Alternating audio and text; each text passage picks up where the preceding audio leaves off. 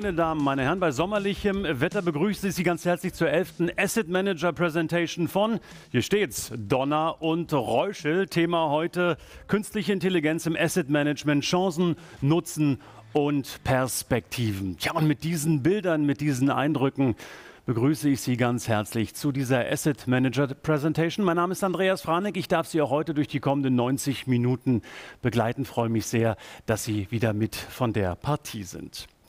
Ja, künstliche Intelligenz ist nicht wirklich ein neues Thema, aber hat, ich weiß nicht, wie Sie es empfinden, ein völlig neues Momentum, ein starkes Momentum bekommen in den vergangenen Monaten. Und der Grund ist schnell gefunden, denn mit der Software Chat GPT ist KI nun auch für Otto Normalbürger und selbstverständlich auch für Monika Mustermann nutzbar geworden und das relativ einfach. ChatGPT ist seit Freigabe für die Öffentlichkeit explosionsartig gewachsen, schneller gewachsen sogar als TikTok und das will schon was heißen in diesen Social-Media-Zeiten. Ja, und täglich gibt es neue Fakten, neue Erkenntnisse, neue Ergebnisse und der entscheidende Punkt ist natürlich, dass dies fortgeschrieben wird. Letzte Woche beispielsweise in Paris, der Facebook-Mutterkonzern Meta hat dort eingeladen nach Paris, hat viele Neuigkeiten präsentiert, unter anderem ein sehr spannendes KI-Modell namens JEPA, das da vorgestellt worden ist. Und über dieses Modell wollen wir auch im Verlauf dieser Asset Manager Presentation sprechen. Selbstverständlich ist künstliche Intelligenz im Asset Management ein Riesenthema und da wollen wir heute in die einzelnen Segmente, in die einzelnen Details hineinschauen. Wichtig ist es bei der Analyse der Finanzinformationen, wichtig bei der Auswahl der richtigen Aktien und sicherlich auch bei der Zusammensetzung eines gut diversifizierten Portfolios. All das, und das wissen Sie, mache ich natürlich nicht alleine. Wir haben uns profunde Kenner der Szenerie eingeladen. Wir wollen mit Ihnen diskutieren über diese verschiedenen äh, Facetten. Und dies sei gleich vorweggeschickt. Sie können im Chat Ihre Fragen stellen. Wir werden diese Fragen sammeln und nachher in den letzten so circa 25 Minuten dieser Asset Manager Presentation versuchen, all Ihre Fragen zu beantworten. Jetzt aber möchte ich Ihnen unsere Gäste vorstellen. Wir haben hierzu ein paar Grafiken vorbereitet, dass Sie wissen, wer hier heute mit dabei ist. Starten wollen wir mit Timothy Meixner. Er ist Geschäftsführer Geschäftsführer Meixner und Ruhoff UG. Er kümmert sich um die Plattform Digitale Profis und ist im Bereich E-Learning unterwegs. KI im Asset Management, auch natürlich für ihn ein großes Thema. Hier haben Sie schon mal gleich vorab seine Koordinaten, falls Sie später auch mit ihm kommunizieren wollen. Unser erster Gast hier im Studio wird Christoph Gumm sein. Er ist der Geschäftsführer der Private Alpha Germany GmbH. Er sagt, für die künstliche Intelligenz ist nun der iPhone-Moment gekommen und Cäsar hilft bei allen neuen Entwicklungen und Cäsar wird uns auch erklären, was das ist, warum er Cäsar mitgebracht hat. Wir haben einen weiteren Gast, Hans Heimburger. Er ist Geschäftsführer bei Gies und Heimburger. Er will und versucht mit seinem Team die besten Aktien mit Hilfe der KI zu finden. Und er hat eine Geheimwaffe, so sag's ich jetzt mal. Mal gucken, ob er mich nachher korrigieren wird. Eine Geheimwaffe gefunden und die nennt er Topas. Äh, was es damit auf sich hat, dazu dann im Talk mehr. Und last not least Johannes Ries. Er ist Gründer und Analyst von Apus Capital. Äh, er sagt, wir investieren in die Gewinner des Wandels. Wir wollen natürlich für unsere Kunden, für unsere Investoren hier einen Mehrwert generieren. Das also die Gesichter, die Informationen zu unseren Gästen in dieser Asset Manager Presentation. Starten wollen wir mit ein paar grundsätzlichen Gedanken zur Einordnung des Themas KI. Was ist künstliche Intelligenz überhaupt? Wie wird sie aktuell eingesetzt? Im Finanzwesen wollen wir es anhand von Sentimentanalysen und Prognosefähigkeiten besprechen und wir wollen natürlich nach vorne schauen, wo geht die Reise hin. All das schildert uns Timothy Meixner in den kommenden rund 15 Minuten, ehe wir mit den Asset Managern ins Gespräch kommen. Und was mich sehr beruhigt, Timothy, du hast keinen Avatar geschickt, sondern bist in Fleisch und Blut vor die Kamera getreten. Wo treffen wir sie denn gerade an? Vielen Dank, Herr Franek. Ich melde mich heute wieder aus dem wunderschönen Stuttgart und freue mich, hier sein zu können und diese spannende Veranstaltung mit einem kurzen Vortrag eröffnen zu dürfen. Bevor ich damit beginne, möchte ich mich kurz vorstellen. Mein Name ist Timothy Meixner. Ich bin Geschäftsführer von Meixner und Ruhrf und habe in der Vergangenheit mit Unternehmen wie Google, Udemy und Xing als Insider im Bereich E-Learning und Online-Bildung zusammengearbeitet. Nebenbei betreibe ich zusammen mit Johannes Ruhrf einen YouTube-Kanal mit dem Namen Digitale Profis, der sich hauptsächlich mit KI beschäftigt. Ja, künstliche Intelligenz. Ein Thema, das für viele von uns spätestens seit diesem Jahr omnipräsent ist. Für die einen ist es die Rettung der Menschheit, für die anderen ist es der Untergang. Ganz so dramatisch sehe ich es nicht, aber es ist vermutlich technologisch gesehen der größte Quantensprung seit dem Internet. Künstliche Intelligenz ist an sich nichts Neues und existiert in unterschiedlichsten Formen seit Jahrzehnten. Aber noch nie gab es so viele KI-Tools, die ich als Privatperson verwenden konnte. Viel davon hat natürlich mit dem bahnbrechenden Erfolg von OpenAI und JetGPT zu tun. Deshalb werde ich mich jetzt auch für meinen Vortrag verstärkt auf dieses Tool konzentrieren, das mit Sicherheit viele von Ihnen kennen und vielleicht ja auch schon ausprobiert haben. Ja, JetGPT. Was genau ist das eigentlich? Was macht diesen Chatbot so besonders? Und warum gibt es seit diesem Tool gefühlt jeden Tag hunderte von neuen künstlichen Intelligenzen, die auf den Markt drängen? Sehen wir uns doch kurz mal die Technologie an, die hinter diesem Tool steckt. Chat ist klar. Wir können mit dem Bot eine Unterhaltung führen. Aber wofür steht denn das GPT? GPT ist eine Abkürzung und steht für Generative Pre-trained Transformer. Das klingt erst einmal alles sehr kompliziert. Und auch wenn es das auf der untersten technischen Ebene natürlich auch ist, kann man es mit ein paar Analogien ganz gut erklären. Und das wird uns enorm dabei helfen zu verstehen, wie diese Programme funktionieren. Ein Generative Pre-trained Transformer ist eine spezielle Art eines sogenannten Large Language Models oder kurz LLM. Mit dem können Computer Muster oder Pattern aus Daten lernen und dann Vorhersagen oder Entscheidungen treffen, ohne wirklich explizit dafür programmiert worden zu sein. Sehen wir uns die drei Teile von GPT an. Generative bedeutet, dass das Modell die Fähigkeit hat, Ausgaben zu generieren. In den meisten Fällen und auch bei JetGPT handelt es sich hier größtenteils um die Fähigkeit, Text zu erzeugen. Pre-trained. Das bedeutet, dass das Modell trainiert wurde, indem es eine große oder besser gesagt riesige Menge an Daten bekommen hat.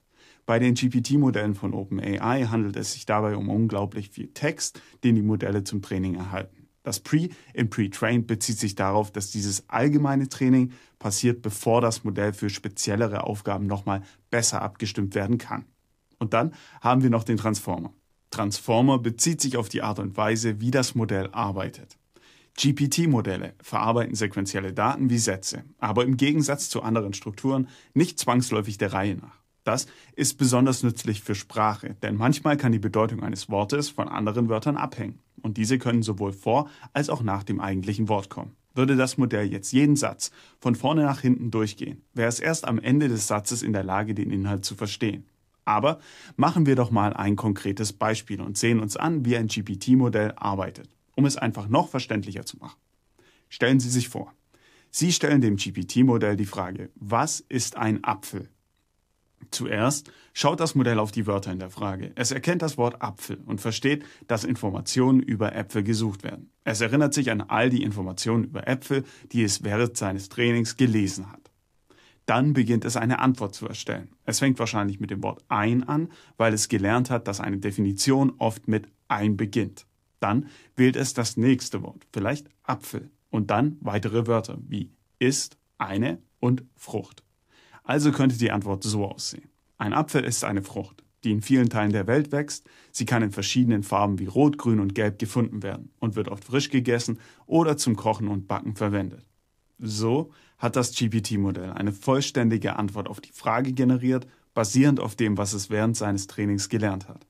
Es versteht nicht wirklich, was ein Apfel ist, aber es kann die Informationen wiedergeben, die es eben gelernt hat. Apropos Lernen. Machine Learning ist auch etwas, das man im Zusammenhang mit künstlicher Intelligenz immer wieder hört. Beim Machine Learning lernt ein System aus Erfahrungen und kann aus diesen Erfahrungen dann ähnlich wie bei den eben angesprochenen GPT-Modell Vorhersagen treffen darüber, was als nächstes geschehen wird. Ein Beispiel hierfür ist die Tastatur in unserem Handy. Jede Person hat einen eigenen Schreibstil und unsere Handys erkennen diese Muster dann auch irgendwann. Und meine Vorschläge beim Autocomplete von irgendwelchen Sätzen werden sich unterscheiden von den Vorschlägen einer anderen Person.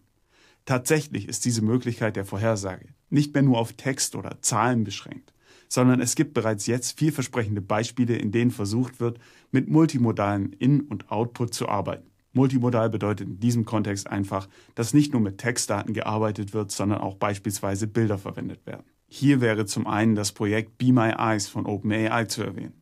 Das Projekt versucht mithilfe der Smartphone-Kamera und dem GPT-4-Modell Objekte zu erkennen und diese Informationen dann an die Nutzer zurückzugeben. was natürlich bahnbrechend wäre in Bezug auf Barrierefreiheit und Inklusion von Menschen mit Sehbehinderung. Aber nicht nur OpenAI ist in diesem Bereich aktiv. Auch Meta ist mittlerweile in das KI-Rennen eingestiegen und hat beispielsweise mit Segment Anything ein Tool vorgestellt, welches uns ermöglicht, einzelne Objekte aus Fotos zu isolieren und sie so zu erkennen und einzuordnen. Diese Extraktion von Informationen anhand von visuellem Input bietet natürlich unglaubliches Potenzial. Erst letzte Woche hat Meta dann noch einen weiteren revolutionären Ansatz für die Arbeit von KI mit Bildern vorgestellt. Dieser versucht den stringenten Prozess, den die meisten aktuellen GPT-Modelle verwenden, mit Hilfe von Abstraktion zu vermenschlichen. Im Gegensatz zu Maschinen nehmen Menschen sehr viele Informationen passiv auf und können dann aus diesen Rückschlüsse ziehen und Zusammenhänge erkennen. Grob gesagt versucht Meta mit dem iJepper-Modell jetzt genau das zu synthetisieren und zu emulieren. Anstatt ein Bild Pixel für Pixel zu rekonstruieren, versucht das Modell auf einer abstrakten Ebene den Inhalt und den Kontext des Bildes zu verstehen und so die fehlenden Teile zu ergänzen. Aktuell ist der Stand, dass mit iJepper eben Bilder generiert werden können. Die JEPA-Technologie an sich soll aber auch mit anderen Bereichen wie Text effizient arbeiten können. Man muss hier aber auf jeden Fall abwarten, wie sich das wirklich in der Praxis im Vergleich zur generativen KI schlägt. Ein interessanter Ansatz ist es auf jeden Fall. Besonders spannend ist auch, dass Meta hier wieder den Weg der Open Source Entwicklung gehen wird und die Trainingsdaten sowie das Modell frei zugänglich machen möchte. Und das ist eben auch ein entscheidender Faktor, der aktuell viele Firmen im Bereich KI voneinander unterscheidet. Es gibt einige Unternehmen wie eben Meta, die diese Entwicklung im Open Source Bereich betreiben. Und dann gibt es andere Beispiele wie Google mit BART oder OpenAI mit JetGPT, die diese Entwicklung im Moment in geschlossenen Systemen vorantreiben. Es gibt für beide Ansätze gute Gründe. Und hier wird es interessant zu sehen, was sich in der Zukunft durchsetzen wird. Ein Google-Mitarbeiter hat vor nicht allzu langer Zeit in einem internen Memo die Befürchtung geäußert, dass Open Source die geschlossene Entwicklung überholen wird. Aber ich denke, dass man das Ganze hier etwas differenzierter sehen muss. Auch wenn ich glaube, dass Open Source KI-Tools sich im Alltag etablieren werden, werden vor allem Unternehmen mit speziellen Anforderungen auf geschlossene Systeme und Modelle zurückgreifen, da dort einfach ein höheres Maß an Kontrolle möglich ist. Jetzt, da wir ein gewisses Verständnis für künstliche Intelligenz entwickelt haben, stellt sich natürlich die Frage, inwiefern man diese Tools im Bereich Finanzen verwenden könnte. Dazu möchte ich kurz vier Anwendungsfälle vorstellen und dann in einem Beispiel konkret zeigen, wie so etwas aussehen könnte. Erstens Dokumentenanalyse. Generative KI kann zur Verarbeitung, Zusammenfassung und Extraktion wertvoller Informationen aus großen Mengen von Finanzdokumenten wie Jahresberichten, Finanzberichten und Gewinnmitteilungen eingesetzt werden und ermöglicht so eine effiziente Analyse und Entscheidungsfindung. Finanzanalyse und Prognosen. Durch das Lernen aus historischen Finanzdaten können generative KI-Modelle komplexe Muster und Beziehungen in den Daten erfassen. Dadurch sind sie in der Lage, vorausschauende Analysen über zukünftige Trends, Vermögenspreise und Wirtschaftsindikatoren zu erstellen. Wenn die Modelle richtig abgestimmt sind, können sie verschiedene Szenarien generieren, indem sie Marktbedingungen, makroökonomische Faktoren und andere Variablen simulieren und so wertvolle Erkenntnisse über potenzielle Risiken und Chancen liefern. Portfolioverwaltung und Risikomanagement. Eine weitere Anwendung der generativen KI im Finanzbereich kann auf jeden Fall die Portfoliooptimierung sein. Durch die Analyse von Finanzdaten und die Generierung verschiedener Anlageszenarien können generative Modelle Vermögensverwaltern und Anlegern helfen, die optimale Vermögens- und Vermögensverwaltung zu ermitteln.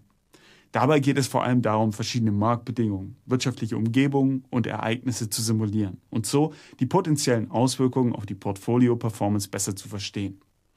Finanzexperten können Anlagestrategien entwickeln, verfeinern und fundierte Entscheidungen über die Verwaltung ihrer Portfolios treffen. Wenn man das richtig umsetzt, sollte dies letztendlich zu besseren finanziellen Ergebnissen für Ihre Kunden oder Institutionen führen. Als letztes haben wir die Sentimentanalyse. Dabei kategorisieren wir Texte, Bilder oder Videos nach ihrem emotionalen Ton und stufen sie als negativ, positiv oder neutral ein. Indem sie Einblicke in die Emotionen und Meinungen der Kunden gewinnen, können Unternehmen Strategien entwickeln, um ihre Dienstleistungen oder Produkte auf der Grundlage dieser Erkenntnisse zu verbessern.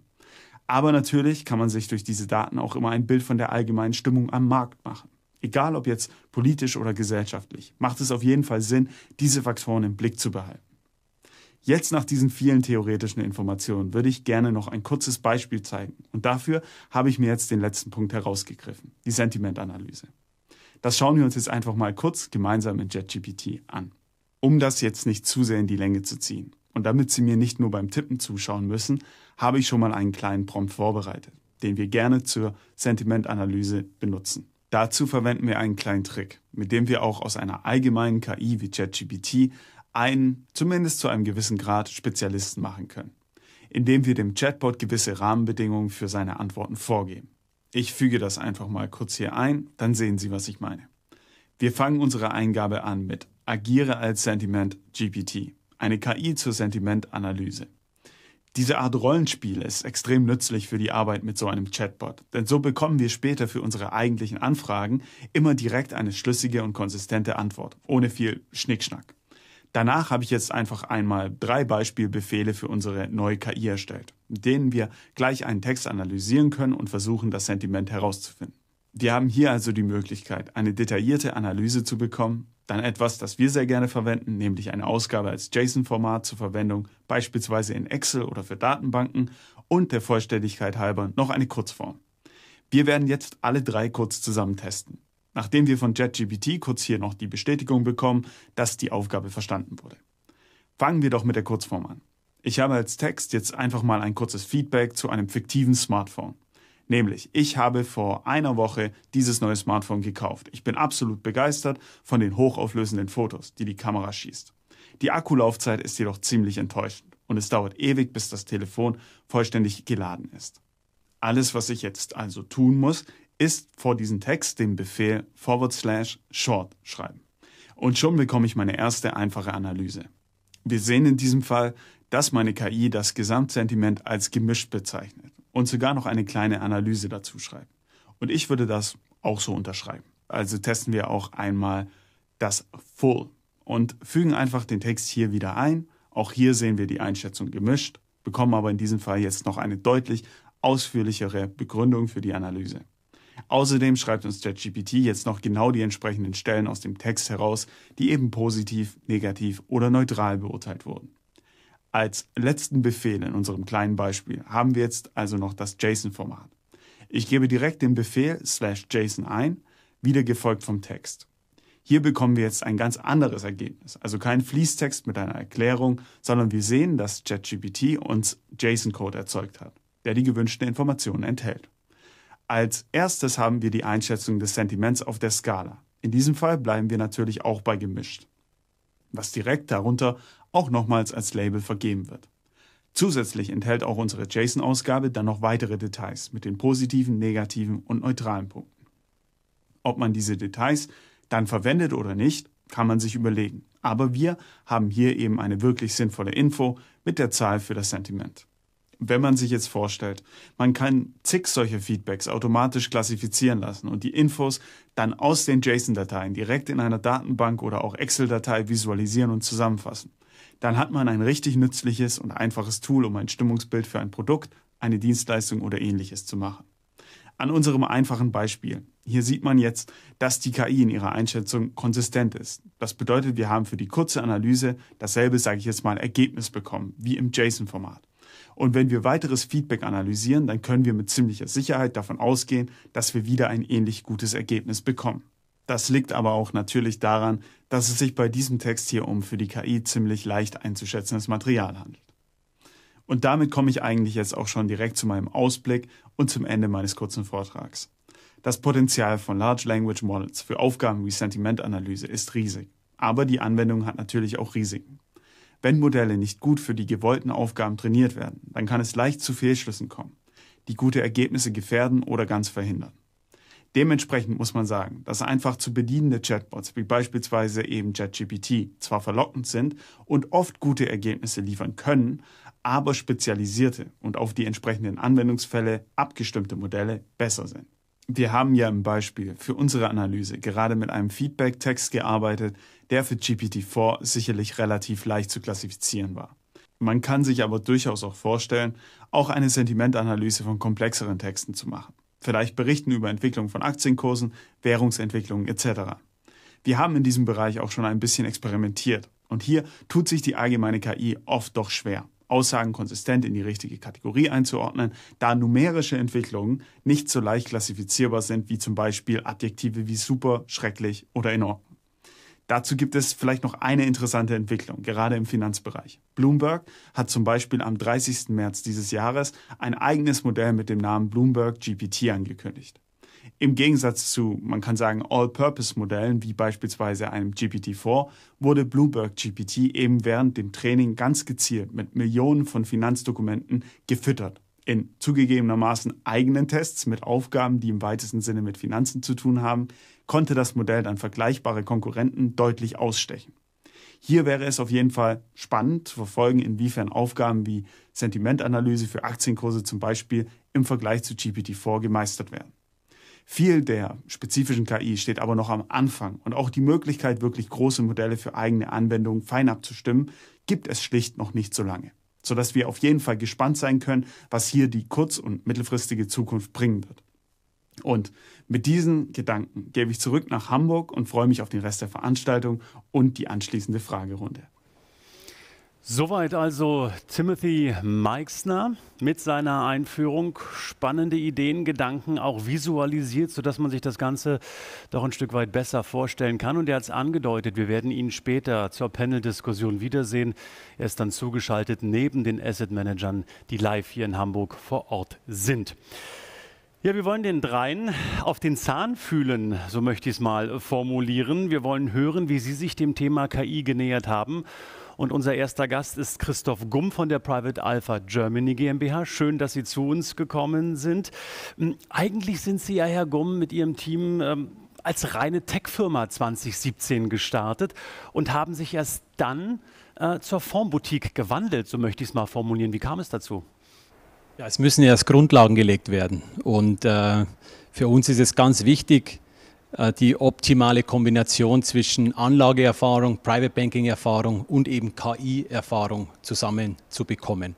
Und als wir 2017 Private Alpha gegründet haben, war das Feld noch relativ unbesetzt. Es hat in Deutschland schon den ein oder anderen Spieler gegeben, die sich dieses Thema auf die Fahnen geschrieben haben, in den USA schon mehrere Spieler und für uns war es erstmal wichtig, eben die Grundlage zu legen und daher haben wir mit Cäsar unsere Technologieplattform aufgebaut. Eben, es gibt ja jetzt schon diverse Namen von Großbanken jetzt mit Chat äh, Chat Index, glaube ich, habe ich von JP Morgan jetzt vor drei Wochen gelesen. Bloomberg hat, wie wir es gerade gehört haben, schon angesetzt. Und Cäsar ist schon sechs Jahre alt. Also wir haben sechs Jahre Branchenerfahrung, wir haben sechs Jahre Domain Knowledge in diesem Thema und wir haben schon sehr, sehr bemerkenswerte Resultate liefern können, gerade in den letzten zwei Jahren mit Cäsar.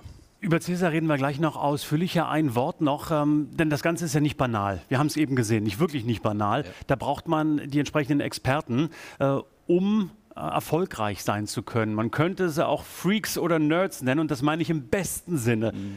Wie werden Sie da fündig? Wie sind Sie zu dem Team geworden, das Sie heute sind? Wir sitzen fast auf dem Campus der ETH in Zürich. Okay. Und äh, die ETH ist sicher eine der führenden Lehrstühle, was künstliche Intelligenz angeht. München ist auch gut dabei, Aachen ist sehr gut, Stanford, die Amerikaner natürlich sowieso. Aber Zürich ist ein Hub geworden für Technologie. Man kennt es ja als Bankenstandort, aber wir haben Microsoft in der Stadt, wir haben Nvidia in der Stadt, wir haben Facebook in der Stadt, äh, wir haben Google in der Stadt ähm, und viele internationale Studenten gehen gern nach Zürich zum Studieren und für uns ein idealer Standort, um Private Banking, Asset Management Know-how mit KI Know-how zu, zu bündeln. Und seit die Startup-Welle rollt, in den letzten fünf, sechs Jahren sind auch Startups teilweise, ich sag mal, more sexy wie die Großbanken und für uns eine ideale, eine ideale Spielwiese. Was kann denn eine KI im Finanzbereich jetzt besser als ähm, ein Analyst beispielsweise oder ein Analystenteam? Es geht primär um Rechenleistung, um Vor Unvoreingenommenheit, also kein Bias und sie arbeitet 24-7. Ja? Also wenn man sie richtig Sie doch auch, Herr Gumm, Sie doch auch. Ja, momentan sehr viel. Also ich kann mich nicht beschweren. Äh, wenn ich mir den, den, den, Tagesrhythmus der letzten zwei Tage anschaue, bin ich da nicht so weit davon entfernt. Ich hoffe, man sieht meine Augenringe nicht. Aber äh, na, es ist natürlich eine Effizienz, eine Skalierung, äh, die, man, die man reinbekommt mit solchen Tools. Und viele haben uns belächelt, als wir 2017 damit angefangen haben. Natürlich braucht man da auch eine gewisse Grundlagenarbeit, die man leisten muss. Aber ich glaube, seit November äh, lacht keiner mehr. Und wir haben uns, glaube ich, vor drei Monaten in Frankfurt auf dem Parkett getroffen. Da habe ich sehr euphorisch über die Möglichkeiten gesprochen. Ich, mich, ja. ähm, ich glaube, die Börse hat es gezeigt, da war ich noch deutlich zu uneuphorisch, was man, wenn man seinen Nvidia-Aktienkurs anschaut mit 200 Prozent. Ich glaube, wir sind da sehr happy, wir sind voll dabei in dem Thema. Und ja, viele Anleger sollten auch noch einsteigen in den Zug, glaube ich. Der fährt erst aus dem Bahnhof. Das ist mal eine klare Aussage gleich zum Start äh, hier dieser Asset Manager Presentation. Mit all diesen Ideen und Gedanken, die Sie uns jetzt hier kurz skizziert haben, Herr Gumm, ähm, haben Sie sich dann an Cäsar gesetzt? Äh, der Name stand vielleicht noch nicht von Anfang an fest, aber Sie müssen uns natürlich jetzt erklären, wer oder was ist Cäsar? Cäsar ist der Co-Pilot für die Finanzmärkte. Ähm, was ChatGPT ist für Texte, wir haben es gerade vom Vorredner sehr, sehr detailliert und sehr gut aufgezeigt bekommen, ist Cäsar für Finanzmarktindikatoren. Also genau die Effizienz, die ChatGPT bekommt, um Texte für uns vorzuschreiben. Ich glaube, wir alle nutzen es mittlerweile, weil es einfach effizient und schneller geht in der schnelllebigen Zeit, wo wir lesen. Genau das Gleiche machen wir mit Cäsar mit Finanzmarktdaten. Jeden Tag hunderte von Zeitreihen optimal auszuwerten, ist eine große Herausforderung und dafür steht Cäsar. Nehmen Sie uns mit in die Details. Verraten Sie uns so viel Sie dürfen, ohne Ärger zu bekommen mit Ihrem Team. Wie funktioniert er? Was kann er dann jetzt? Und wie können Investoren von Cäsar profitieren? Grundsätzlich ist Cäsar eine Deep Reinforcement Plattform mit den neuesten Algorithmen, die wir dort nutzen. Wir sind Microsoft-Partner in der Schweiz, also wir sind völlig cloud-basiert in der Azure Cloud von Microsoft und Cäsar sammelt täglich hunderte von Zeitreihen und bekommt dann ein Trainingsziel, auf das er sich optimiert. Das heißt, der Unterschied zwischen statischen Quantmodellen, die immer die gleichen Indikatoren nutzen, um ein bestimmtes Ergebnis zu erzeugen, hat Cäsar die Möglichkeit, eben Indikatoren auszutauschen, um immer ein optimales Set an Indikatoren für ein bestimmtes Trainingsziel. Wir machen hier Risikoreports zum Beispiel, äh, um eine gewisse Marktschwankung anzuzeigen. Ähm, das wäre ein, ein Use Case vom, vom Cäsar-System. Sind das Kursverläufe oder sind das Textbausteine oder alles zusammen, was er verarbeiten muss? Es ist eben ein ganz großer Unterschied von unserem Haus zu anderen Häusern. Wir haben da einen ganz eigenen Ansatz. Wir machen keine News-Analysen. Also wir sammeln jetzt nicht Bloomberg, Reuters Texte, da haben wir A, das Team nicht dafür, die Kapazitäten, sondern wir haben einen ganz fokussierten Ansatz ein Cäsar Zeitreihen, also Cäsar ist quasi optimiert sich auf Zeitreihen, die das System bekommt, um dann Investmentquoten, um Sentiments zu, zu analysieren. Also keine News-Analyse, sondern klassisch dynamisches quantitatives Modell. Und Sie sind dann den Schritt weitergegangen, haben gesagt, das funktioniert so gut, lass uns doch daraus einen Fonds machen. Ähm, ist doch richtig jetzt dieser Zeitstrahl. Ne? Das ist der Top 25 Equity Fonds. Ähm, ich habe mir den natürlich angeschaut im Vorfeld. Der Investmenthorizont ist nach meinem Empfinden sehr, sehr spitz. Er ist sehr passgenau mhm. auf den Nasdaq 100 Index ausgerechnet. Warum? Weil es ein Tech-Index ist, aber hey, da ja. ist doch Biotech drin. Ja, der Nasdaq äh, un unterhält ja nicht nur Tech. Eben. Äh, mhm. also ich kann jetzt vielleicht ein bisschen ausführen, warum haben Bitte. wir den NASDAQ 100 äh, genommen. Äh, ich bin hier in Deutschland jetzt ähm, und wir haben natürlich den DAX, wir haben den Eurostox. Schauen wir uns mal die Renditen von den beiden Indizes an in den letzten, sagen wir, zehn Jahren. Der Eurostox sehr bankenlastig, wir wissen es, 2,3 Prozent Rendite. Der DAX mit dem, sage ich mal, Industriefokus für Deutschland 7 Prozent Rendite.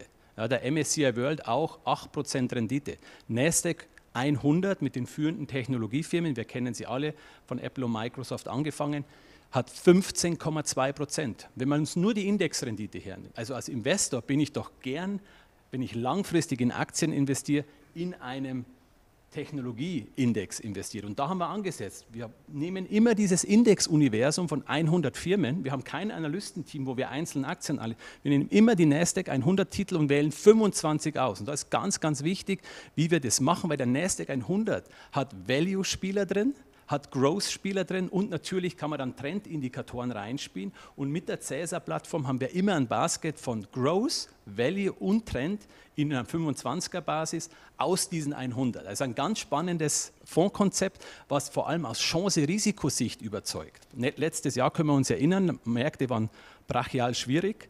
Ähm, seit wir gestartet sind, hat der Index minus 14 gemacht und wir waren am Jahresende bei plus 3. Dieses Jahr sind wir leicht dahinter, aber es ist diese optimale Rendite Chance, die man aus dem Index mit unserem Fondskonzept spielen kann. Ein bisschen Mathematik für mich als Moderator. Wenn es 25 äh, Werte sind, äh, sind die dann am Beginn alle mit 4% gewichtet? Und gibt es dann regelmäßig ein Rebalancing und vor allen Dingen, wie oft, wie funktioniert das? Das ist genauso, wie Sie sagen, 100, 100 Bin erleichtert. 4% mit monatlichem Rebalancing. Also wir schauen uns sehr aktiv das Portfolio an und genau diese Analyse hat bei uns gezeigt, dass wir da dieses optimale Risiko-Return-Verhältnis bekommen. Und historisch in unseren Analysen haben wir eben eine Chance, dreieinhalb bis vier Prozent besser zu sein wie der Index. Nun weiß ich aus jahrelanger Erfahrung an der Börse, dass es natürlich Spaß macht, zurückzuschauen. Aber dafür gibt es halt nichts mehr zu gewinnen, weil das ist die Vergangenheit. Lassen Sie uns also daher nach vorn schauen. Und die Frage, die sich mir natürlich stellt, wie können Anleger jetzt von der weiteren Entwicklung des Nasdaq 100 profitieren? Ja. Schauen wir beispielsweise auf hm, Apple, habe ich jetzt mal rausgesucht. Sehen Sie da einen weiteren iPhone-Moment durch die neue VR-Brille, ja, ja. Äh, die präsentiert worden ist. Wie, wie schätzen Sie das ein? Ich glaube, als Investor, Anleger, Vermögensverwalter, Family Office muss man sich eine Frage stellen. Wird die Welt digitaler oder wird die Welt analoger? Und meiner Meinung nach wird sie digitaler. Und am Ende vom Tag enden alle großen Technologiefirmen irgendwann im Index. Natürlich, wenn sie Erfolg haben, kommen sie auf die Watchlist von den Index-Providern. Und wenn man sich dann anschaut, was ist im NASDAQ 100, da ist alles drin, was es braucht für die nächsten zehn Jahre. Man hat KI drin mit den, äh, mit den ganzen Chipfirmen und natürlich mit Nvidia. Man hat VR und AR in der Kombination mit der Vision Pro, geht meiner Meinung nach nicht für dieses Jahr, aber mittelfristig und natürlich preist die Börse schon 24 und 25 ein, geht für Apple ein Schaufenster auf für eine komplett neue Produktgeneration. Ja, man hat es gesehen, die Apple-Aktie ist eigentlich vor, der, vor, der, äh, vor dem Announcement. Die Insider im Silicon Valley haben es ja schon gewusst, was, was, was mhm. kommt, haben sich schon positioniert. Biotech wird ein Riesenthema für KI, meiner Meinung nach ab 2025. Äh, Google mit, mit, mit AlphaFold, äh, ein Bekannter von mir ist bei Google, der erzählt mir, was in der Biotechnologie kommen wird. Also diese, diese Beschleunigung wird sich in der Breite fortsetzen. Ich kann Sie nicht sagen, welche Firmen 2030 dann dort sind. Ich weiß nur eins, der Index wird deutlich höher stehen, wenn die Welt so bleibt, wie es ist und wir nicht geopolitisch irgendwann auseinandergerissen werden. Jetzt haben Sie das also alles entwickelt, haben Cäsar entwickelt, haben den Fonds entwickelt und können sagen, gut, ähm, jetzt arbeiten wir genau mit diesem Setting für die kommenden Jahre. Nein, Sie nehmen das Herrschaftswissen und behalten es eben nicht für sich, sondern Sie geben einen börsenoptimierten KI-Cäsar-Report heraus. Warum? Brauchen Sie noch ein Taschengeld nebenher? Nein, wir wollen Experten besser machen. Mhm. Dafür stehen wir mit KI. Ich unterhalte mich mittlerweile mit über 100 Vermögensverwaltern im deutschsprachigen Raum und ich sehe auch dort, man ist sehr hörig, ich sage mal, diesen ganz großen Analysen von den ganz großen Häusern, vor allem an der Wall Street.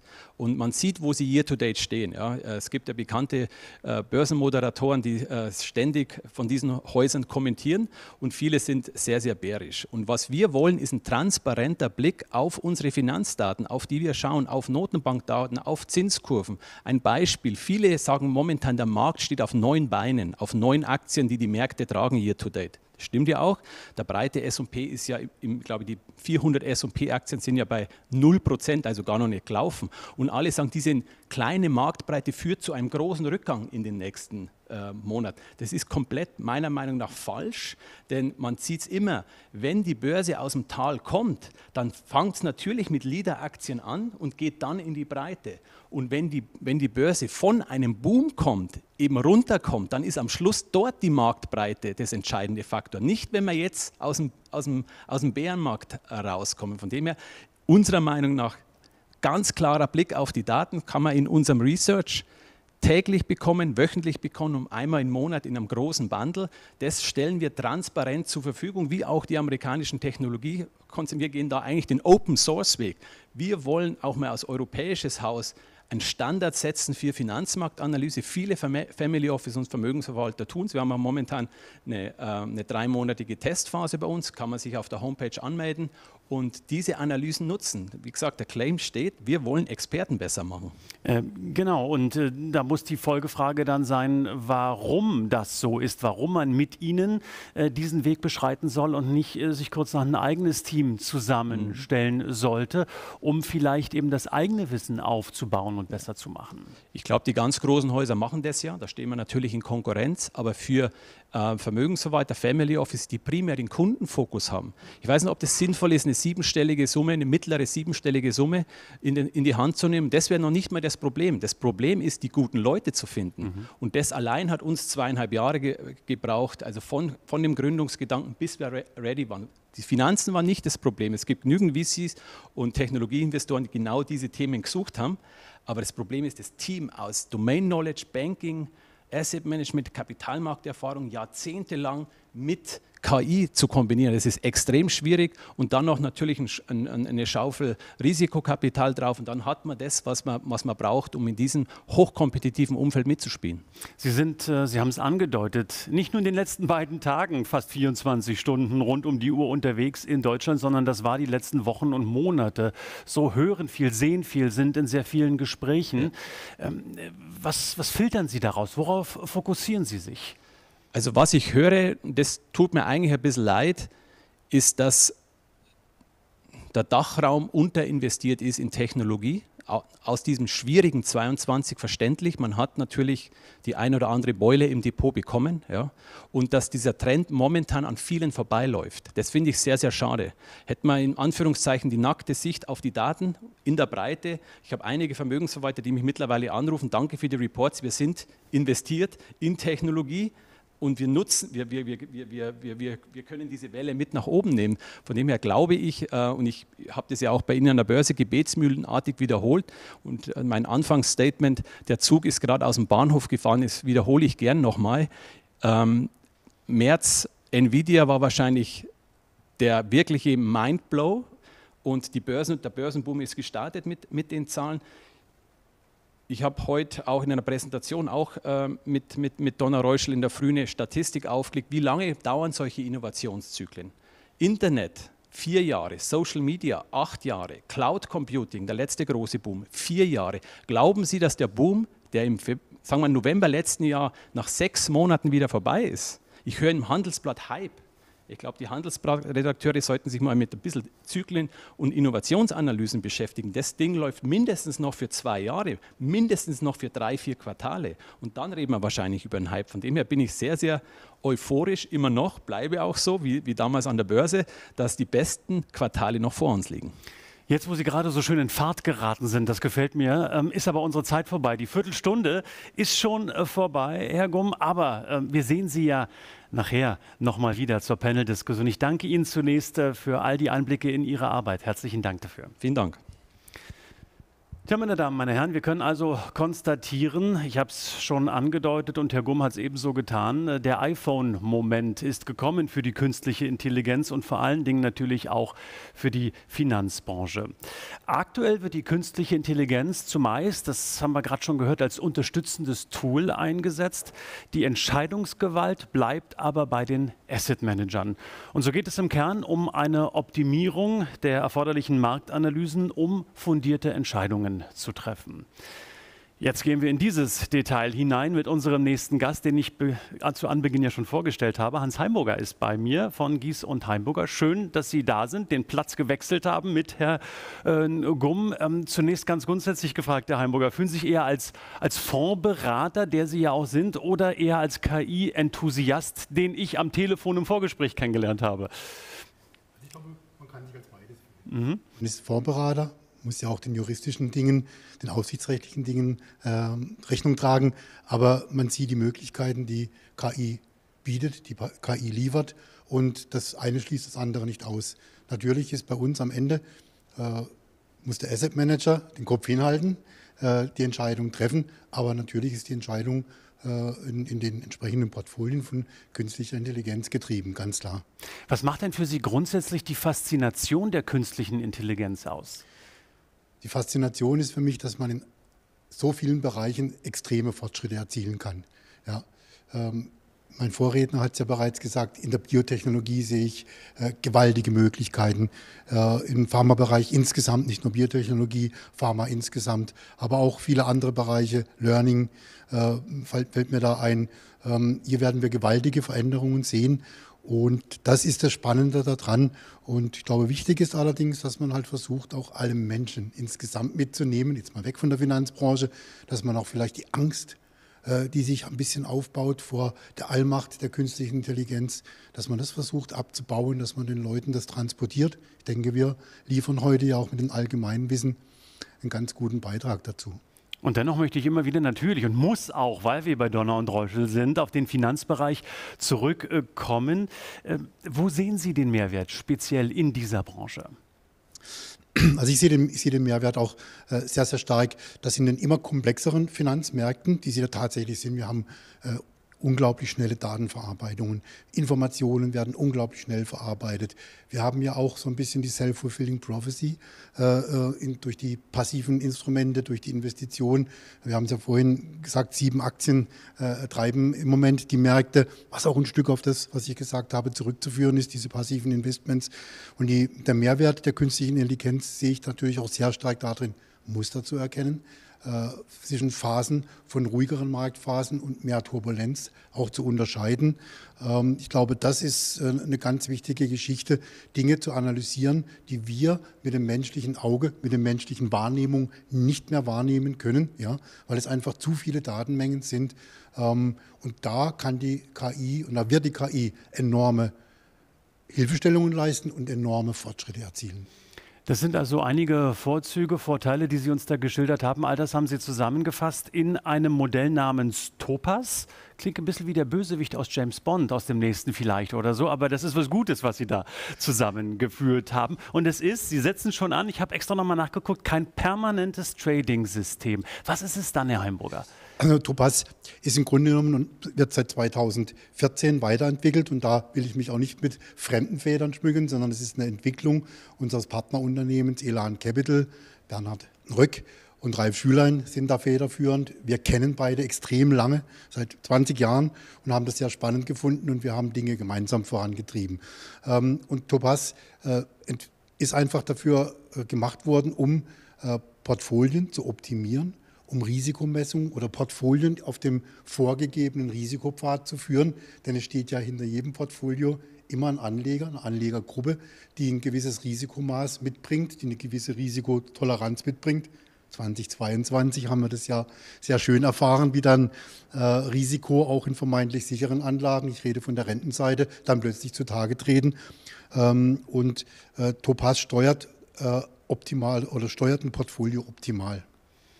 Wie steuert Topaz dann dieses Portfolio? Wählt ähm, Topaz äh, Einzelaktien aus äh, oder ganze Märkte äh, oder Regionen oder Themen oder Körbe? Nehmen Sie uns mit auf die Reise. Ja, sehr gerne. Topaz kann in, in den genannten Gebieten in allen operieren.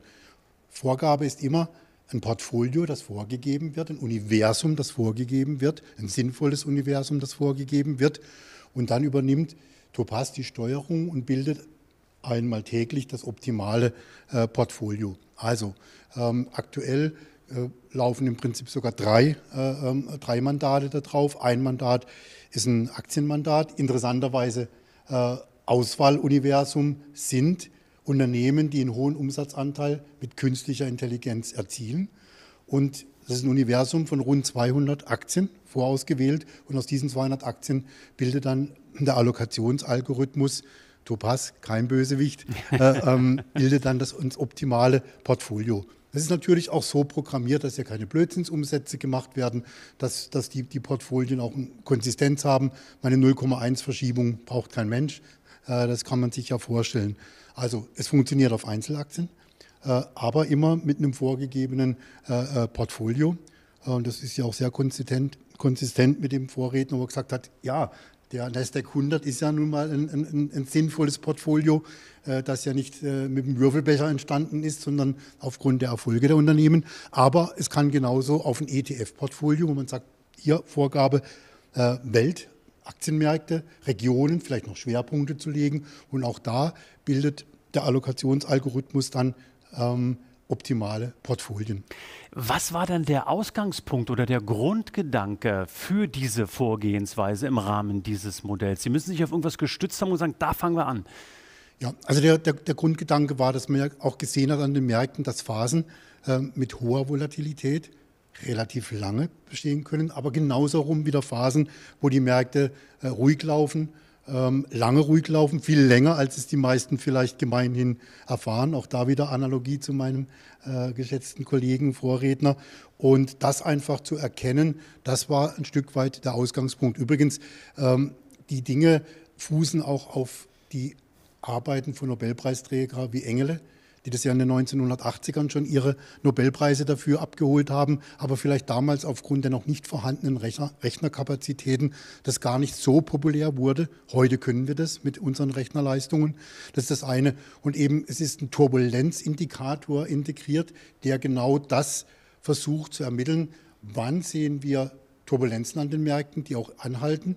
Dann operiert Topaz taktischer Natur und wann sehen wir einfach die schönen Wetterlagen, die lange, lange bestehende Hoch, Hochs, äh, um dann eben äh, strategischer Natur äh, zu operieren. Hat vor allen Dingen Corona-Crash extrem gut funktioniert, einen schnellen Abbau der Positionen, aber auch wieder einen sehr schnellen Aufbau, als das Modell gesehen hat, okay, das ist hier jetzt nicht eine langanhaltende Bässe. Ja, wir wissen ja alle, wie schnell dann spätestens ab April 2020 die Märkte dort ja wieder durchgestartet sind und viele, die über Stop-Loss hinausgefallen sind, eigentlich gar keinen Fuß mehr in die Tür bekommen haben. Wenn ich Sie richtig verstehe, setzen Sie also hierbei auf wiederkehrende Muster. Sie haben von mal mehr Wohler, mal weniger Wohler gesprochen. Mm, aber und korrigieren Sie mich, falls ich das jetzt falsch zusammensetze wiederum. Äh, das sind alles Dinge, die in der Vergangenheit sind. Aber meiner Erfahrung nach ist jeder Börsentag anders, jeder Crash ist anders. Wir wissen eigentlich nicht, wie der DAX oder der Dow Jones oder die Nasdaq 100 äh, in der nächsten Minute steht. Wie, wie funktioniert das dann? Ja, also ähm, keine KI kann in die Zukunft gucken. Keine KI kann, kann sagen, ja, wir wissen genau, wie in drei Wochen der Nasdaq oder der DAX oder der S&P 500 steht. Oder? Das ist dann eher die Aufgabe der Kristallkugel. okay. Haben Sie keine? Nein, ja. noch nicht. Ich suche sie noch. Okay. Und ähm, nein, ich glaube, ich glaube, ja, Mustererkennung schon. Ähm, es sind immer noch Menschen, die an den Märkten operieren. Äh, die, das Spiel von Gier und Angst ist da. Ähm, und der gestrige Börsentag beeinflusst ja auch sicherlich ein Stück den morgigen. Ich glaube, da gehen alle einig mit. Ja? Ähm, es, gibt, äh, es gibt hier schon Dinge, die man sehen kann. Natürlich wiederholt sich, äh, Geschichte wiederholt sich nicht, aber sie dichtet. Die reimt sich. Die reimt ne? sich, ja. Und ich glaube, das kann man hier ein Stück sehen. Ähm, es ist immer ein, Stück anders, aber es fußt schon auch auf, auf, auf Muster, die immer wieder da sind, die natürlich auch in unserer in, in der Natur des Menschen liegt, auch egal, wenn hier äh, ähm, KI oder was auch immer äh, unterstützt. Es geht also im Kern um Risikomessung, Risikoanalyse, zusammenfassende hm, Analysen, um eben äh, sauber agieren zu können, um das Portfolio auch managen zu können.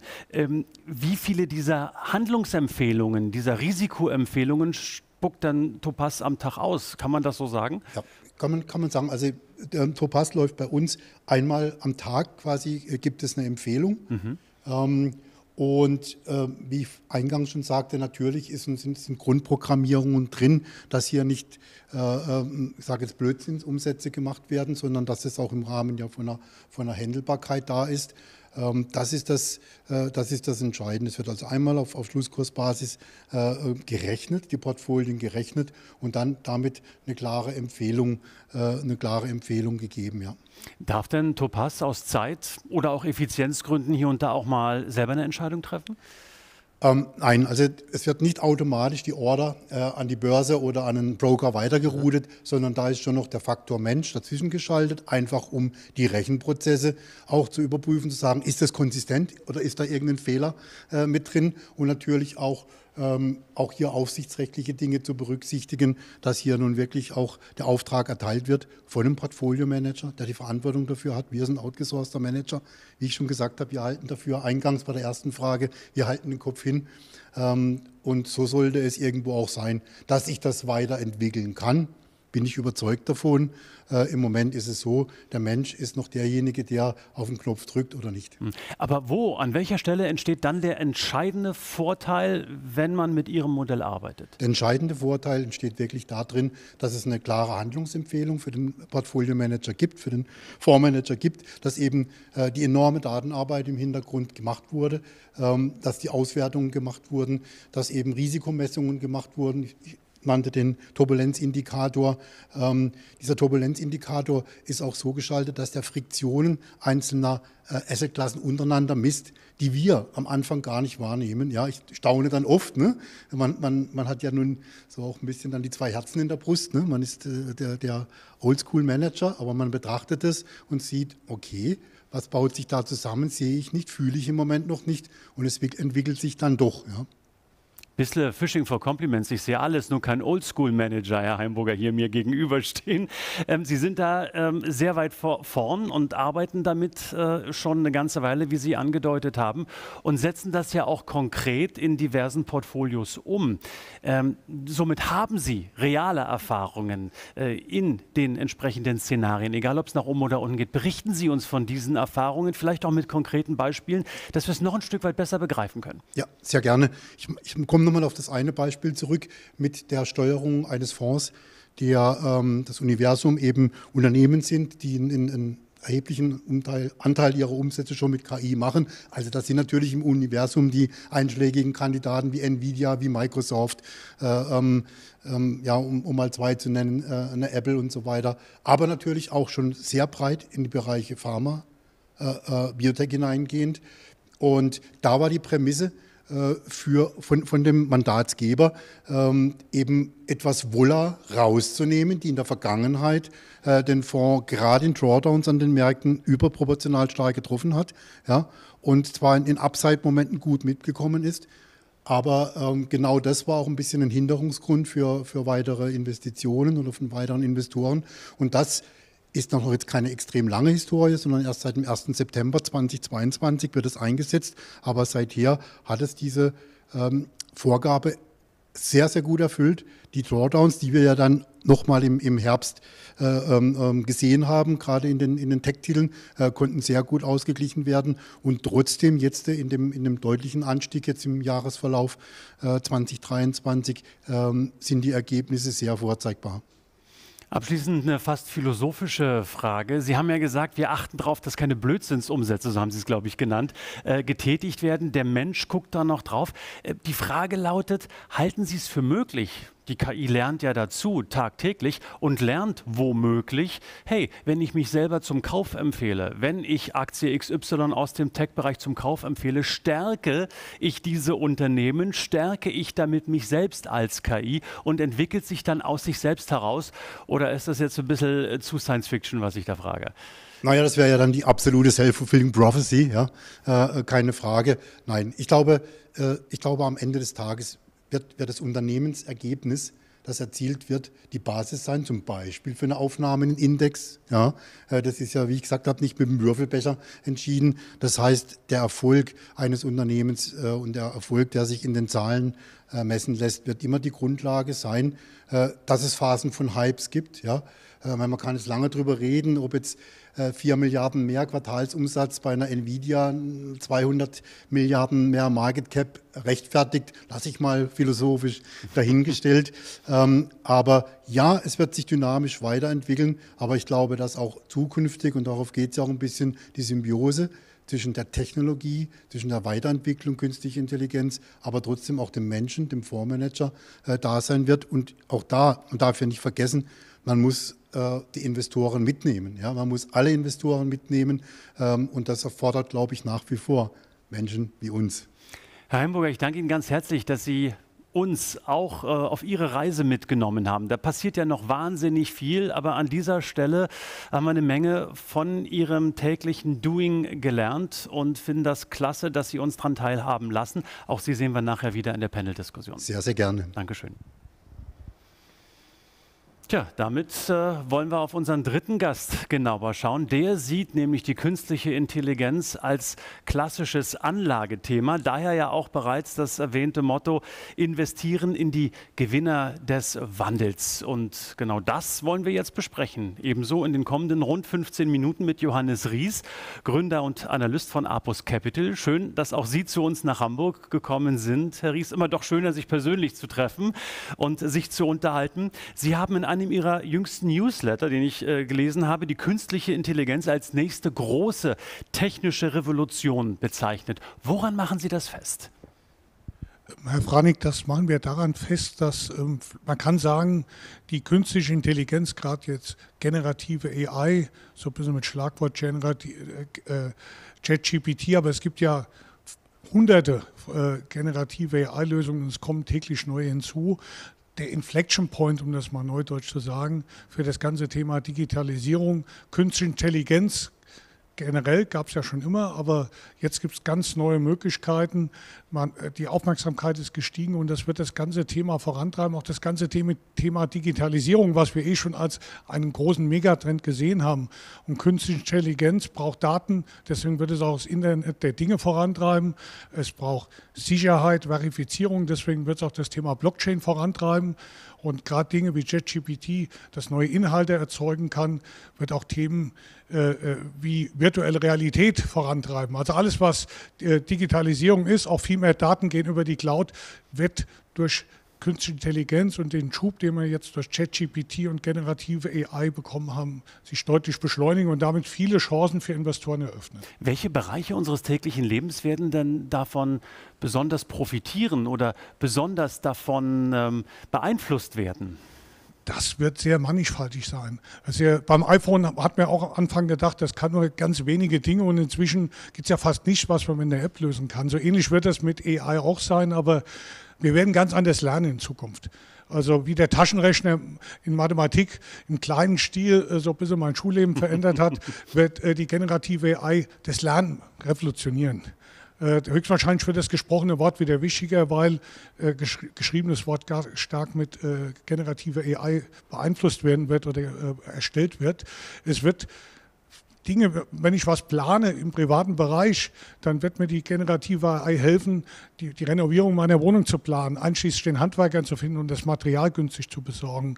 Ähm, wir werden ganz viel mehr neue Inhalte sehen. Es wird neue Musik und Filme geben, die von generativer AI erstellt werden.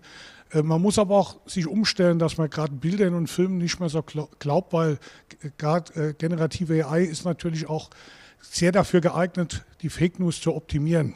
Und damit muss man noch viel kritischer mit dem umgehen, was man irgendwie aus den Medien hört, was vermeintlich sehr echt aussieht. Also das wird, das sind nur die, das ist die mhm. Spitze des Eisbergs, weil wie immer, wenn es eine neue Technologie gibt, ist der Mensch sehr erfindungsreich und wird ja auch dabei wieder von äh, KI unterstützt. Ähm, wir werden auch viele Anwendungen sehen, die wir uns noch gar nicht vorstellen können, einschließlich neue Geschäftsmodelle von auch vielleicht neuen Unternehmen, die an Märkte kommen, sehr erfolgreich sein werden. Sie arbeiten ja als ganz klassischer, fundamental orientierter Investor haben, ähm, sage und schreibe, um die 500 Unternehmenskontakte im Jahr, auch als Team. Inwieweit, inwieweit äh, befassen sich denn die Unternehmen, die Sie treffen, ähm, bereits mit dem Thema KI? Ich meine, das sind schon eine ganze Menge, aber vielleicht weniger, als wir glauben. Sie haben noch ein paar Zahlen sicherlich. Ja, also es sind sehr viele. Also äh, auch schon vor ChatGPT haben wir fast in jedem Unternehmenskontakt äh, über KI gehört. Aber KI, die mehr auf strukturierte Daten aufsetzt, also was man zum Beispiel von den Maschinen von äh, Internet der Dinge auslesen kann in, unter dem Stichwort Industrie 4.0, um äh, Automatisierung voranzutreiben, die Logistikketten zu optimieren und, und, und. Aber der, die generative AI, das ChatGPT-Thema, stößt dieses Thema natürlich jetzt ganz neu an. Es gab eine Umfrage von der Bitkom, das ist ja die Fachorganisation äh, der, des äh, Hightech-Verbands in, in, in, in Deutschland, dass ähm, 40 Prozent der Unternehmen glauben, das wird ein, äh, ChatGPT war der Anstoß für Riesenschub der Digitalisierung. Und dass ein Großteil der Unternehmen, das sind glaube ich über 80 Prozent, glaubt, dass in den nächsten fünf Jahren das für Unternehmen eine sehr große Bedeutung haben wird und dass 40 Prozent der Arbeitsstunden, die jetzt geleistet werden, damit beeinflusst werden. Weil JetGPT oder generative AI hauptsächlich das Wissen, der, der, der, die hochqualifizierten Arbeitsplätze rationalisieren und äh, verändern wird, im Gegensatz zur Rationalisierung der Vergangenheit, die ja mehr in der Fertigung stattgefunden hat. Mhm. Ähm, lässt sich denn der Effizienzgewinn durch den Einsatz von KI und damit auch ein möglicher Produktivitätszuwachs schon heute in irgendeiner Form äh, verifizieren, auch da mit Zahlen unterlegen oder mit Erwartungen zumindest? Es gibt Zahlen, äh, natürlich ist manches noch Erwartung, gebe ich Ihnen recht, aber es gibt Schätzungen, äh, dass, ich glaube, vor kurzem kam das von Goldman Sachs heraus, dass 35, dass die Wissensarbeiter also nehmen wir jetzt einen, einen Journalist oder sei es ein, äh, ein, Forscher, dass die Effizienz der Wissensarbeiter um 35 Prozent steigen wird. Und McKinsey hat gerade, glaube ich, letzte Woche eine aktuelle Studie herausgebracht über den Produktiv Produktivitätsgewinn durch künstliche Intelligenz, hauptsächlich generative AI. Die gehen davon aus, ist natürlich gewisse Annahmen getroffen und die sind recht konservativ, sagen die sogar noch, dass ein jährlicher Produktivitätszuwachs weltweit von 2,6 bis 3,1 Billiarden möglich ist. Ähm, das entspricht ungefähr dem Sozialprodukt von Großbritannien als Zuwachs pro Jahr. Also das zeigt, wie, äh, äh, die, die, äh, die, das, was generative AI auslöst und damit den ganzen Schub der Digitalisierung, kann einen erheblichen Wachstumsschub für die ganze Welt bringen. Interessanterweise vielleicht sogar mehr für die entwickelten Staaten als für die Entwicklungsländer, weil es, wie gesagt, das, die, das Wissensmanagement oder die, die, die Wissensarbeiter betrifft, die dort mehr ausgeprägt sind und damit äh, ja einen deutlichen Wohlstandsschub bringen kann und damit eigentlich auf der einen Seite Arbeitsplatzverlust bringen kann, was von vielen als Risiko gesehen kann, aber auch durch höheres Wachstum, höhere Nachfrage und natürlich auch Dinge, die mit KI verbunden sind. Man muss ja KI auch managen und kontrollieren, viele neue Arbeitsplätze schaffen wird. Was schlussfolgern Sie jetzt dann daraus für die Unternehmensbewertungen? Eben jetzt, wir sind im Juni des Jahres 2023. Wir haben von Herrn Gumm gehört, äh, wie die Entwicklung der letzten Monate war, nämlich explosionsartig nach oben Kursgewinne ohne Ende bei vielen Tech-Unternehmen. Da scheint also der Markt diese Entwicklung einzupreisen. Und daher die Frage an Sie, äh, was bedeutet das für die weitere Entwicklung der Aktienkurse, wenn KI noch mehr in die Produktionsprozesse eingebunden wird? Generell, wie gesagt, ähm, höheres Wachstum ist immer gut für die gesamte Volkswirtschaft, ähm, bessere äh, Gewinnentwicklung, generell gut für die Börse. Aber in speziell natürlich äh, die Gewinne aus dem ganzen Thema, die Unternehmen, die die Technologie liefern, die diese auch intelligent umsetzen und sich damit auch vielleicht vom Wettbewerb abheben, für die sehe ich ähnlich wie meine Vorredner noch lange nicht das Ende der Fahnenstange erreicht. Ähm, wir investieren ja in die Gewinne des Wandels. Wir haben festgestellt, dass die echten Gewinne aus dem Wandel, nehmen Sie mal eine Apple, das waren 20 Jahre von einem Pleiteunternehmen mhm. bis zum wertvollsten Unternehmen äh, der Welt. Das waren zehn Jahre von äh, wo man das iPhone vorgestellt hat, bis man das wertvollste Unternehmen der Welt geworden ist. Ähm, nehmen Sie eine SAP in, in den 90er Jahren, die äh, die Standardsoftware Unternehmen eingeführt hat. Das Unternehmen hat, der Kurs hat sich in zehn Jahren, und das ging über die ganzen zehn Jahre, die ganzen 90er Jahre verhundertfacht. Und so wird es auch, auch bei vielen der Gewinne aus KI sein. Und deswegen, wir als jemand, der genau solche Unternehmen sucht, die die Gewinner des Wandels sind, wir sehen, nie, ein nie besseres Feld für uns, für unseren Investmentansatz vor uns liegen. Und wir glauben auch, das wird noch sehr, sehr lange tragen und vielleicht schon weit über die, das Jahrzehnt hinaus Unterstützung geben als Investoren und viele interessante Investitionsmöglichkeiten eröffnen. Machen Sie es noch ein Stück konkreter, Investmentchancen, weil wir sind hier auch in einer Runde und haben viele Zuschauerinnen und Zuschauer, die natürlich auch schauen, wie sie die Portfolien strukturieren, wie sie vielleicht auch für die Kunden ähm, einkaufen. Wo sehen Sie Investmentchancen? Nehmen Sie uns ein Stück weit mit, bitte. Investmentchancen äh, sehen wir natürlich äh, bei den Unternehmen, die äh, äh, hauptsächlich auch Zulieferer sind. Es, es, ist ja oft schwer, wir gehen ein bisschen oft nach dem Motto, wir kaufen lieber die Schippen als die Minen. Mhm. Und ähm, wer jetzt vielleicht nachher der bessere Anwender ist im Industriebereich von KI, ist manchmal schwer zu erkennen. Wir glauben doch, den einen oder anderen identifizieren zu können. Aber eins ist klar, und das ist auch, das, das ist für uns ein echter Investitionsschwerpunkt schon vorher gewesen, weil wir die, äh, die Branche als Gewinner der Digitalisierung gesehen haben. Durch den starken Schub, den KI jetzt bekommt, wird die, die Menge an Daten explodieren. KI muss gefüttert werden, KI produziert jede Menge neue Daten und KI äh, braucht sehr viel Rechnerleistung. Und äh, man braucht auch sehr viel Kommunikations- Leistung, um diese Daten von A nach B zu übertragen. Also mit anderen Worten, wir brauchen einen Riesenbedarf an Halbleitern. Also die Halbleiter und die Ausrüster davor sogar, die ermöglichen, dass die Halbleiter produziert werden können. Das sind auf jeden Fall potenzielle Gewinne der Digitalisierung generell schon, aber jetzt durch, insbesondere der KI. Und deswegen glauben wir, dass Halbleiter eine deutliche Wachstumsbeschleunigung sehen werden. Wo noch on top kommt, äh, das Thema Taiwan-China löst ja im Moment auch noch Investitionen geopolitisch äh, bedingt in weitere Kapazitäten aus, was diesen Equipment-Herstellern zusätzlich on top nochmal einen großen Schub gibt. Gestern zum Beispiel die Meldung, Intel will 30 Milliarden in Deutschland investieren. Also wir, es ist ein Beispiel, aber eins, wo wir ganz besonders Wert drauf legen und auch relativ hohes Gewicht fahren, ist das Thema Halbleiter im KI-Bereich. Es gibt aber auch viele andere Möglichkeiten. Softwareunternehmen, die geschickt KI einsetzen. Äh, man kann auch viel schneller und äh, gerade einfache Codes äh, äh, mit KI entwickeln, mit generativer AI, werden einen Wettbewerbsvorteil haben.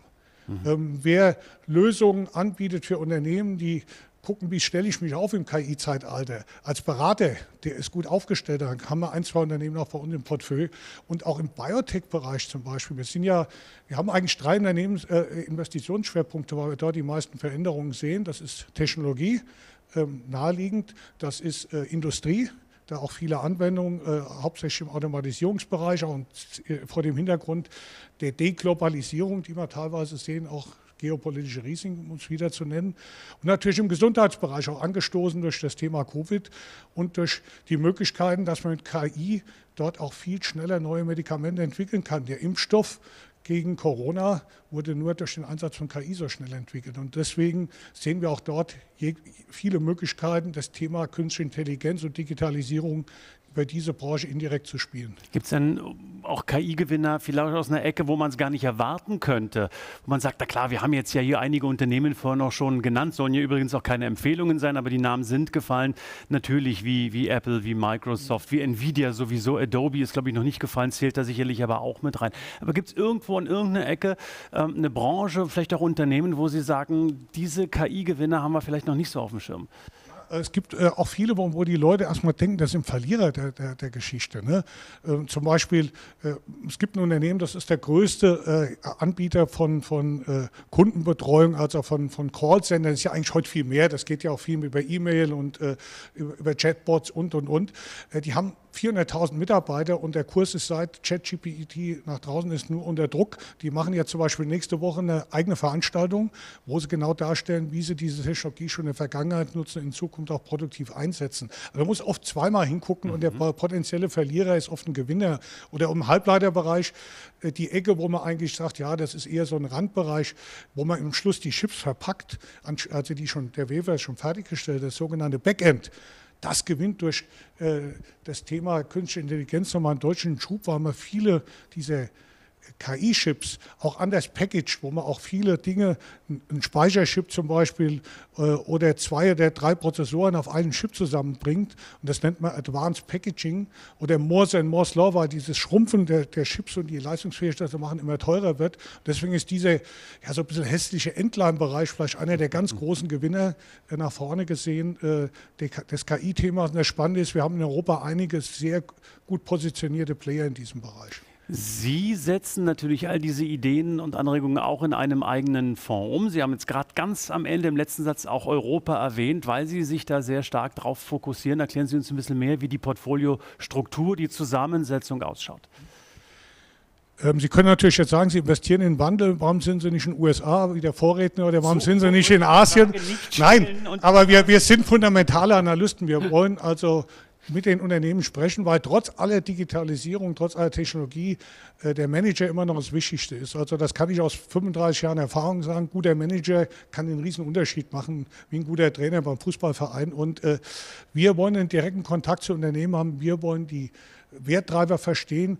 Wir wollen äh, die Strategie nachvollziehen. Und sie sind halt ähm, als kleiner Anbieter zu weit weg, um in den USA wirklich so nah an Unternehmen. Sie sind immer das fünfte Rad am Wagen und Asien genau das Gleiche. Sie treffen die Unternehmen nicht, äh, denn äußerst selten in Europa. Wie gesagt, wir machen über 500 Unternehmenskontakte. Wir sehen unsere Unternehmen jetzt virtuell sogar noch öfter als früher. Und da fühlen wir uns einfach wohler, da können wir besser schlafen. Und das Spielfeld ist mit 3000 Unternehmen oder so groß genug. Und da gibt es sehr viele interessante Unternehmen, die direkt und indirekt auch genauso von diesem Trend profitieren. Und wie gesagt, wir haben die Schwerpunkte Industrie, Gesundheit und insbesondere Technologie, äh, wo wir in Europa, in Europa auch sehr viele interessante Unternehmen finden, wie gesagt, auch sehr oft indirekt die Trends spielen. Und dass es funktioniert, unser äh, Fonds, den es jetzt zwölf Jahre gibt, das ist der Abus Capital Revalue Fonds. Mit gewissen Schwankungen hat er immerhin knapp 12 Prozent per annum nach Kosten ohne Währungsrisiko, was natürlich nicht haben, wenn sie nur in Europa mit kleinen Ding, wenn Sie bis ins Skandinavien mal rausrechnen, verdient. Und ich glaube, das kann sich sehen lassen. Mhm. Also 12 Prozent per annum, das ist in der Tat was, was sich sehen lassen kann. Und ähm, wir müssen auch hier jetzt zum Schluss kommen. Die Viertelstunde ist vorbei. Ähm, Schlussfrage. Ähm, wie wird ähm, KI Ihre Arbeitsweise, Ihren Arbeitsalltag beeinflussen? Wir haben einiges auch von den Vorrednern gehört, die schon ein bisschen aus Ihrer Sichtweise gesprochen haben. Wie würden Sie das für sich ähm, formulieren wollen? Da wird sich was ändern, ganz bestimmt. Also ich bin, wie gesagt, schon lange dabei. Meine Arbeitsweise hat sich auch dramatisch geändert. Am Anfang gab es kein Internet. Äh, da gab es nur mal einen DAX, als ich angefangen habe. ähm, äh, die Geschwindigkeit war viel langsamer. Die Geschwindigkeit wird sich nochmal erhöhen. Wir werden sicher beim Screening, also die richtigen Aktien zu finden, die wir uns tiefer angucken, KI nutzen. Wir werden sicher bei der Analyse der Daten und der Vorbereitung der Gespräche mit Unternehmen das nutzen. Wir werden auch zur Erstellung von Berichten das nutzen, bin ich mir ziemlich sicher. Ähm, und äh, äh, auch dem Thema ESG äh, welche Unternehmen könnten unter ESG problematisch sein, äh, welche sind da besser für uns, wenn wir mehrere zur Auswahl haben, wird das ein Thema sein. Wir sind gerade dabei, eine Kooperation mit einem Softwareanbieter aufzusetzen, der ein solches Produkt entwickeln will, äh, auch ES, Schwerpunkt ESG, aber auch für die ganze Portfolio Management. Und wir sind einer der Testpiloten, wenn ich mal sagen will. Also wir werden demnächst auch KI aktiv nutzen bei uns im Unternehmen. Dann sage ich herzlichen Dank an den Testpiloten Johannes Ries, ähm, auch für Ihre Schilderungen hier und heute in dieser Asset Manager Presentation. Dankeschön. Danke.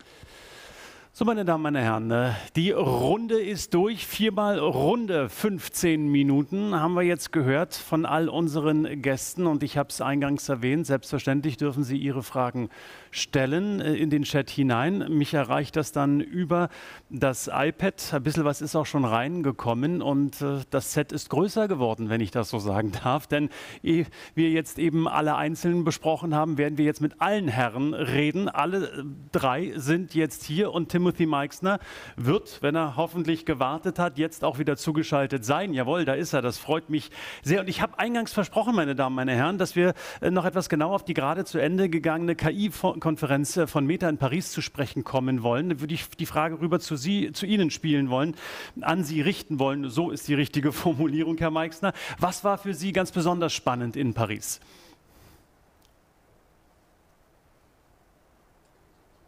Ist für mich zu sehen, dass Meta sich scheinbar wirklich jetzt dazu entschlossen hat, hier ein Open Source Modell zu fahren. Also es wurde ein neues Modell vorgestellt, dieses iJPA Modell, was an sich schon mal revolutionär ist. Ich kann dazu gerne gleich noch mehr sagen. Aber an sich finde ich noch viel bemerkenswerter, dass es wirklich jetzt eine eindeutige Message auch ist an die EU, an Europa. Es wurde explizit in Paris vorgestellt, was ich schon mal sehr schön finde, weil wir in der EU ja mit den Regulierungen und so weiter aktuell ein Thema haben. Und Meta versucht hier wirklich zu sagen, wir stehen komplett hinter dem Open Source, ja, hinter dem Open Source Softwarepakt und ähm, steht damit schon ziemlich im Gegensatz zu den anderen Unternehmen wie eben Google, die aktuell mit BART in der EU noch gar nicht vertreten sind, weil sie eben sagen, wir haben da gewisse Bedenken gegenüber den ja, DSGVO etc. Also das, das war auf jeden Fall für mich das eigentlich überraschendste und die positivste Überraschung eigentlich. Über JEPA. Ich habe da nur Überschriften äh, gelesen und gesehen ähm, und es so verstanden, dass äh, JIPA anders als ChatGPT äh, in kompletten Bildern denkt und eben nicht nur in einzelnen Worten oder auch äh, Sätzen. Was wären denn die Vorteile dieser Idee? Genau, also das muss man sich in etwa so vorstellen. Ich hatte in meinem Vortrag gesagt, dass die Standard-Transformer-Modelle oft versuchen, wie die Tastatur auf dem iPhone zum Beispiel, Vorhersagen zu treffen, welches Wort folgt als nächstes. Und bei JPA handelt es sich um einen Image-Transformer, wo versucht wird, eben ein ja, eine fehlende Information von einem Bild zu rekonstruieren. Also beispielsweise, wenn jetzt ein Abschnitt von einem Bild nicht vorhanden ist, versucht JPA das Bild zu analysieren und es zu rekonstruieren. Dabei ist der Unterschied zu den Projekten von Photoshop beispielsweise, also Adobe, dass nicht auf die einzelnen Pixel eingegangen wird, wie normalerweise das der Fall wäre. Also normalerweise, wenn ich jetzt ein fehlendes, ja, ein fehlendes Stück in einem Bild hätte, dann würde die KI versuchen zu analysieren, welche Pixel umgeben denn dieses Loch in meinem Bild und versucht dann nach Wahrscheinlichkeitsrechnung und so weiter zu überlegen, welche einzelnen Pixel müssen wir generieren, damit das Loch gefüllt wird. JPA versucht jetzt vielmehr auf einer semantischen Ebene das Bild zu analysieren. Das bedeutet, es segmentiert gewissermaßen die einzelnen Subjekte auf dem Bild. Also wenn beispielsweise ein Auto auf einer Straße ist, dann erkennt das Modell, es handelt sich um ein Auto, es handelt sich um eine Straße und vergibt quasi Klassen, so kann man sich das vorstellen.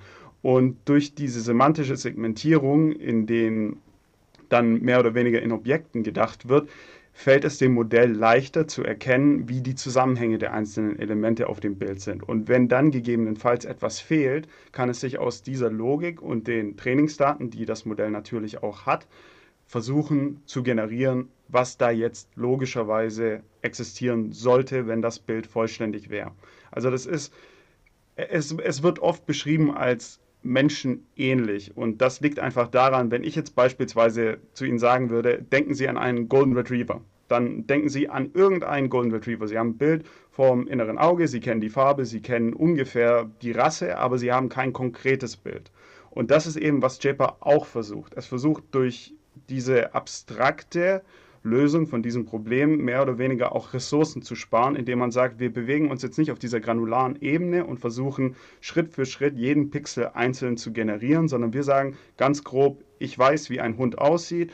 Hier auf diesem Bild fehlt beispielsweise das rechte Ohr, aber da ich weiß, wie ein Golden Retriever aussieht, weiß ich, was hier ungefähr hinkommen würde und ich kann einzelne Elemente innerhalb des Bildes analysieren und erkennen und somit weiß ich auch, hier ist jetzt beispielsweise ein Baum und das Ohr von dem Hund muss dementsprechend vor dem Baum sein, weil der Hund vor dem Baum sitzt.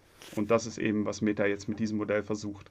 Spannend, wirklich spannend. Da geht also was. Herr Gumm, ähm, hier haben wir es jetzt von Meta äh, gehört. Über ChatGPT haben wir sowieso schon gesprochen. Auch andere Unternehmen arbeiten fieberhaft an eigenen Lösungsmöglichkeiten, an eigenen Modellen. Äh, wird es so etwas wie eine Art Wettstreit vieler guter Modelle geben oder wird es am, am Ende nur das eine beste Modell geben? Was glauben Sie? Ich glaube, dass es sehr vergleichbar ist mit dem Einzug von Quantenmodellen vor, vor 20 Jahren. Jeder hat immer gute Phasen. Wenn ich meine Renaissance Technology denke, man hat immer einen super Einstieg gehabt nach sehr viel Entwicklungsarbeit und ist dann aber auch in eine Phase gekommen, wo seine Modelle wieder weniger funktionieren. Das ist das, was ich auch schon angesprochen habe. Das ist immer das Domain Knowledge, was du mit einer Technologie verknüpfst. Das ist immer dein Ansatz. Und äh, ja, der, der, der Startschuss, ich sage mal, für die zweite Generation der KI-Modelle ist jetzt gefallen. Und äh, es wird sicher spannend. Und diejenigen, die den besten Ansatz haben, werden die höchsten Performances und Renditen für die Anleger einfahren. Und darum geht es eben halt genau, die zu finden. Herr Heimburger, die erste Frage ist äh, gekommen ähm, aus äh, den äh, Zuschauerfragen herausgenommen. Und zwar ähm, haben wir ja jetzt einige Werte erwähnt und ich muss es nochmal betonen, es sind keine Empfehlungen natürlich, aber es gibt die großen, die Nvidias dieser Welt, die zuletzt extrem gut gelaufen sind, Microsoft, Apple äh, sowieso. Wie groß ist die Gefahr, dass die großen Unternehmen, die vermeintlich wichtigen Anbieter von KI-Lösungen, ähm, das ganze Kapital aufsaugen und immer stärker, immer größer werden, wie so ein schwarzes Loch und die kleinen leer ausgehen. Ich glaube, ich habe am vergangenen Freitag die großen genannt, die Staubsauger, Geldstaubsaugerunternehmen im Moment. Es ist natürlich so, auch darüber, äh, dass wir das ja über die ETFs dann äh, das Geld dahin transportiert wird. Ja, äh, die Gefahr ist da ob es als Gefahr zu bezeichnen ist oder ob es halt einfach ein Fakt ist, das sei mal dahingestellt. Aber es wird im Zeitablauf viele Unternehmen geben, ähm, die eben mit ihren KI-Anwendungen in, in der Praxis ähm, wirklich auch Sprünge machen und am Ende ist es wieder die G&V und die Bilanz. Äh, ich sage immer, der Kontoauszug eines Unternehmens lügt nicht. Ja? Das ist ganz Entscheidende, äh, was wir sehen werden. Und da wird sich materialisieren, ob die äh, Anwendungen äh, erfolgreich sind. Sage jetzt mal, ohne dass ich der große Experte bin, Nvidia hat ja noch nicht einen Burggraben wie Apple. Das heißt, die anderen Chip-Hersteller werden, werden vielleicht aufrüsten, ein Stück nachholen. Also ein Burggraben von Apple, meine ich, ist ja die Kundenbeziehung, ja, den Kultstatus zu haben. Ähm, also da können sich Veränderungen ergeben äh, ähm, in, der, in der Werthaltigkeit eines Unternehmens. Ähm, da kann ich mir vieles äh, vorstellen. Aber ganz klar, ich meine, wir haben gesehen, äh, auch in den letzten zehn Jahren, dass die, dass die Großen relativ konsistent in, der, in, der, in, in, den, in den Top Ten der, des, des Nasdaq 100 geblieben sind. Und ich glaube nicht, dass sich das dramatisch verändern wird. Es mag immer welche Raketen geben, die da reinschießen. Das ist Zukunft, wir wissen es nicht. Mhm. Ähm, eine Frage an Sie, Herr Ries. So ein bisschen ist sie, glaube ich, vorhin fast schon beantwortet worden, aber ich will da nochmal nachstoßen. Da Sie ja sich spezialisiert haben, auch auf europäische, auf deutsche Unternehmen und diese Unternehmenskontakte ja auch haben und pflegen, ähm, sticht da irgend ein Land heraus, irgendeine Region heraus, irgendein Unternehmen heraus, wo Sie sagen, da konzentrieren wir uns besonders stark drauf? Und das ist die Frage, äh, die Suche sozusagen auf unserem Kontinent nach KI-Gewinnern. Wie sieht die aus? Ja gut, ähm, wir starten ja nicht bei Null. Wir kennen ja viele Unternehmen und sehen auch ungefähr, in welche Richtung die profitieren könnten. Ähm, wie gesagt, äh, diese Halbleitergeschichte war ja schon vorhin in unserem Fokus gewesen. Wo natürlich sicher relativ viel Innovation ist, ist Skandinavien. Die sind ja auch, Sie kennen ja die berühmte Karte, Digitalisierung ist in Skandinavien ganz weit fortgeschritten. Da wird schon seit zehn Jahren kaum noch mit Bargeld bezahlt, bis runter nach Italien oder Spanien nimmt das immer mehr ab. Und ähm, das sind sicher auch die innovativsten und, und am schnellsten reagierendsten Unternehmen. Aber wir finden eigentlich in vielen Regionen interessante Unternehmen. Und wie gesagt, dieses Halbleiter-Thema ist ja ein Chippenthema. Also die, diese Chips sind ja auch für andere Dinge teilweise einsetzbar. Ähm, oder auch die Maschinen, da können sie also äh, teilweise ähm, Halbleiter drauf produzieren, die im Auto, ins Auto reinkommen, genauso wie äh, äh in, äh, für, für, für einen KI-Server. Ähm, nicht immer, da gibt es natürlich schon äh, breitere und schmälere äh, Strukturen und teure und billigere Maschinen, aber ähm, da sind wir nah am Ball und äh, kriegen das natürlich auch hautnah mit, weil wir viele dieser Unternehmen, die wir spannend finden, wo wir investiert sind, vier, fünf Mal im Jahr sprechen. Ne? Herr Meixner, nächste Frage an Sie äh, in die Stuttgarter Ecke. Also die Frage, ähm, was ist eigentlich aus dem viel diskutierten und geforderten Moratorium geworden? Unter anderem hat sich ja Elon Musk damals äh, angeschlossen, hat gesagt, hey, wir müssen, was waren es, sechs Monate, mal die Forschung komplett auf Eis legen. A, die Frage, was ist daraus geworden? Und B, schließe ich an die Frage, geht das überhaupt? Kann man überhaupt ein solches Moratorium umsetzen? Was glauben Sie? Also tatsächlich ähm, wurde dieses Moratorium sehr kritisch gesehen. Also es ist immer so, dass wenn auf einmal dann gewisse Unternehmen einen Quantensprung erzielen und dann eben auch wie OpenAI innerhalb von weniger Monate 100 Millionen User für sich ja, gewinnen können, dass andere Personen und Unternehmen dann neidisch werden, logischerweise, weil sie den wirtschaftlichen Vorsprung so sehen, dass sie ihn kaum noch einholen können. Und das ist tatsächlich meiner Meinung nach auch so, dass dieses Moratorium jetzt nicht unbedingt aus den ähm, richtigen Gedanken äh, verfasst wurde, sondern stellenweise auch wirklich aus wirtschaftlichen Gründen, was ja auch nachvollziehbar ist. Aber ähm, um auf die Frage einzugehen, kann man sowas eindämmen? Nein, schlicht und einfach das wird nicht funktionieren. Man hat jetzt beispielsweise Facebook oder Meta hat ähm, ihr Lama-Modell, das war quasi ein Large Language Model zu Research- und Recherchezwecken, haben die das Open Source beispielsweise Stanford und weiteren Universitäten zur Verfügung gestellt. Und nach zwei Tagen ist das komplette Modell geleakt. Und das denke ich auch ist mit ein Grund, weshalb Meta sich zu diesem Open Source Schritt entschieden hat. Jetzt ist vor, ich denke, zwei, drei Tagen ist geleakt, dass aus einer sehr seriösen Quelle dass Meta das nächste Modell auch kommerziell nutzbar Open Source zur Verfügung stellen wird. Also dass alle von uns jetzt ihre eigenen Bots und KI-Modelle auf Basis von Metas Large Language Model bauen werden können und auch kommerziell nutzen dürfen. Das hat natürlich den ähm, Impact, dass wir das Feld eigentlich weiter öffnen. Also da ist es dann wieder so, natürlich muss ich diese Infrastruktur nutzen, aber ich bin in der Lage, ein eigenes Konkurrenzprodukt oder auch ein internes Offline-Produkt, das Lama-Modell lief beispielsweise auch offline, ähm, für mich selber oder für mein Unternehmen zu entwickeln. Und dementsprechend denke ich, dass niemand mehr auf diesen Luxus verzichten werden möchte und man diese Entwicklung nicht aufhalten werden kann. Spannend ist allerdings, dass ähm, Jan LeCun, das ist Chef für KI von Meta, der hat gesagt, dass diese ganze Angsthascherei und so weiter gar keine Daseinsberechtigung hat, ihrer Meinung nach. Das an sich wäre schon mal ein Statement. Jetzt ist es aber so, dass gestern Voicebox von Meta vorgestellt wurde. Das war ein Text-to-Speech-Tool, das auch in der Lage war, aus Samples, also aus Stimmproben, die gerade mal zwei Sekunden lang sind, Stimmklone zu erzeugen. Und dann wurde von Meta gesagt, dieses Modell ist zu gefährlich, um es öffentlich der, äh, ja, öffentlich zugänglich zu machen, sage ich jetzt mal. Also selbst in diesen Unternehmen herrscht da nicht ganz Einheit, weil wenn es darum geht, wie gefährlich ist KI wirklich und sollten wir das jetzt vielleicht stoppen oder einschränken. Aber es gibt da jetzt noch, um das abzuschließen, gute Nachrichten im Sinne von OpenAI und Google haben beispielsweise dem britischen ja, Regierungs- oder dem britischen Parlament Zugriff gegeben auf ihre Codes. Also die haben jetzt mehr oder weniger gesagt, wir möchten transparent sein und wir möchten zeigen, was mit den Daten passiert. Und dementsprechend denke ich, dass wir aus dieser ganzen Geschichte nicht mehr rauskommen, sondern irgendwie lernen müssen, damit umzugehen und es sich ähnlich wie mit dem Internet verhalten wird. Für viele ist es der gefühlte Untergang. Aber an sich denke ich, dass dieser Hype oder diese Angst in den nächsten Monaten sich ja abflachen wird und man einfach es zum Teil des Alltags sehen werden wird.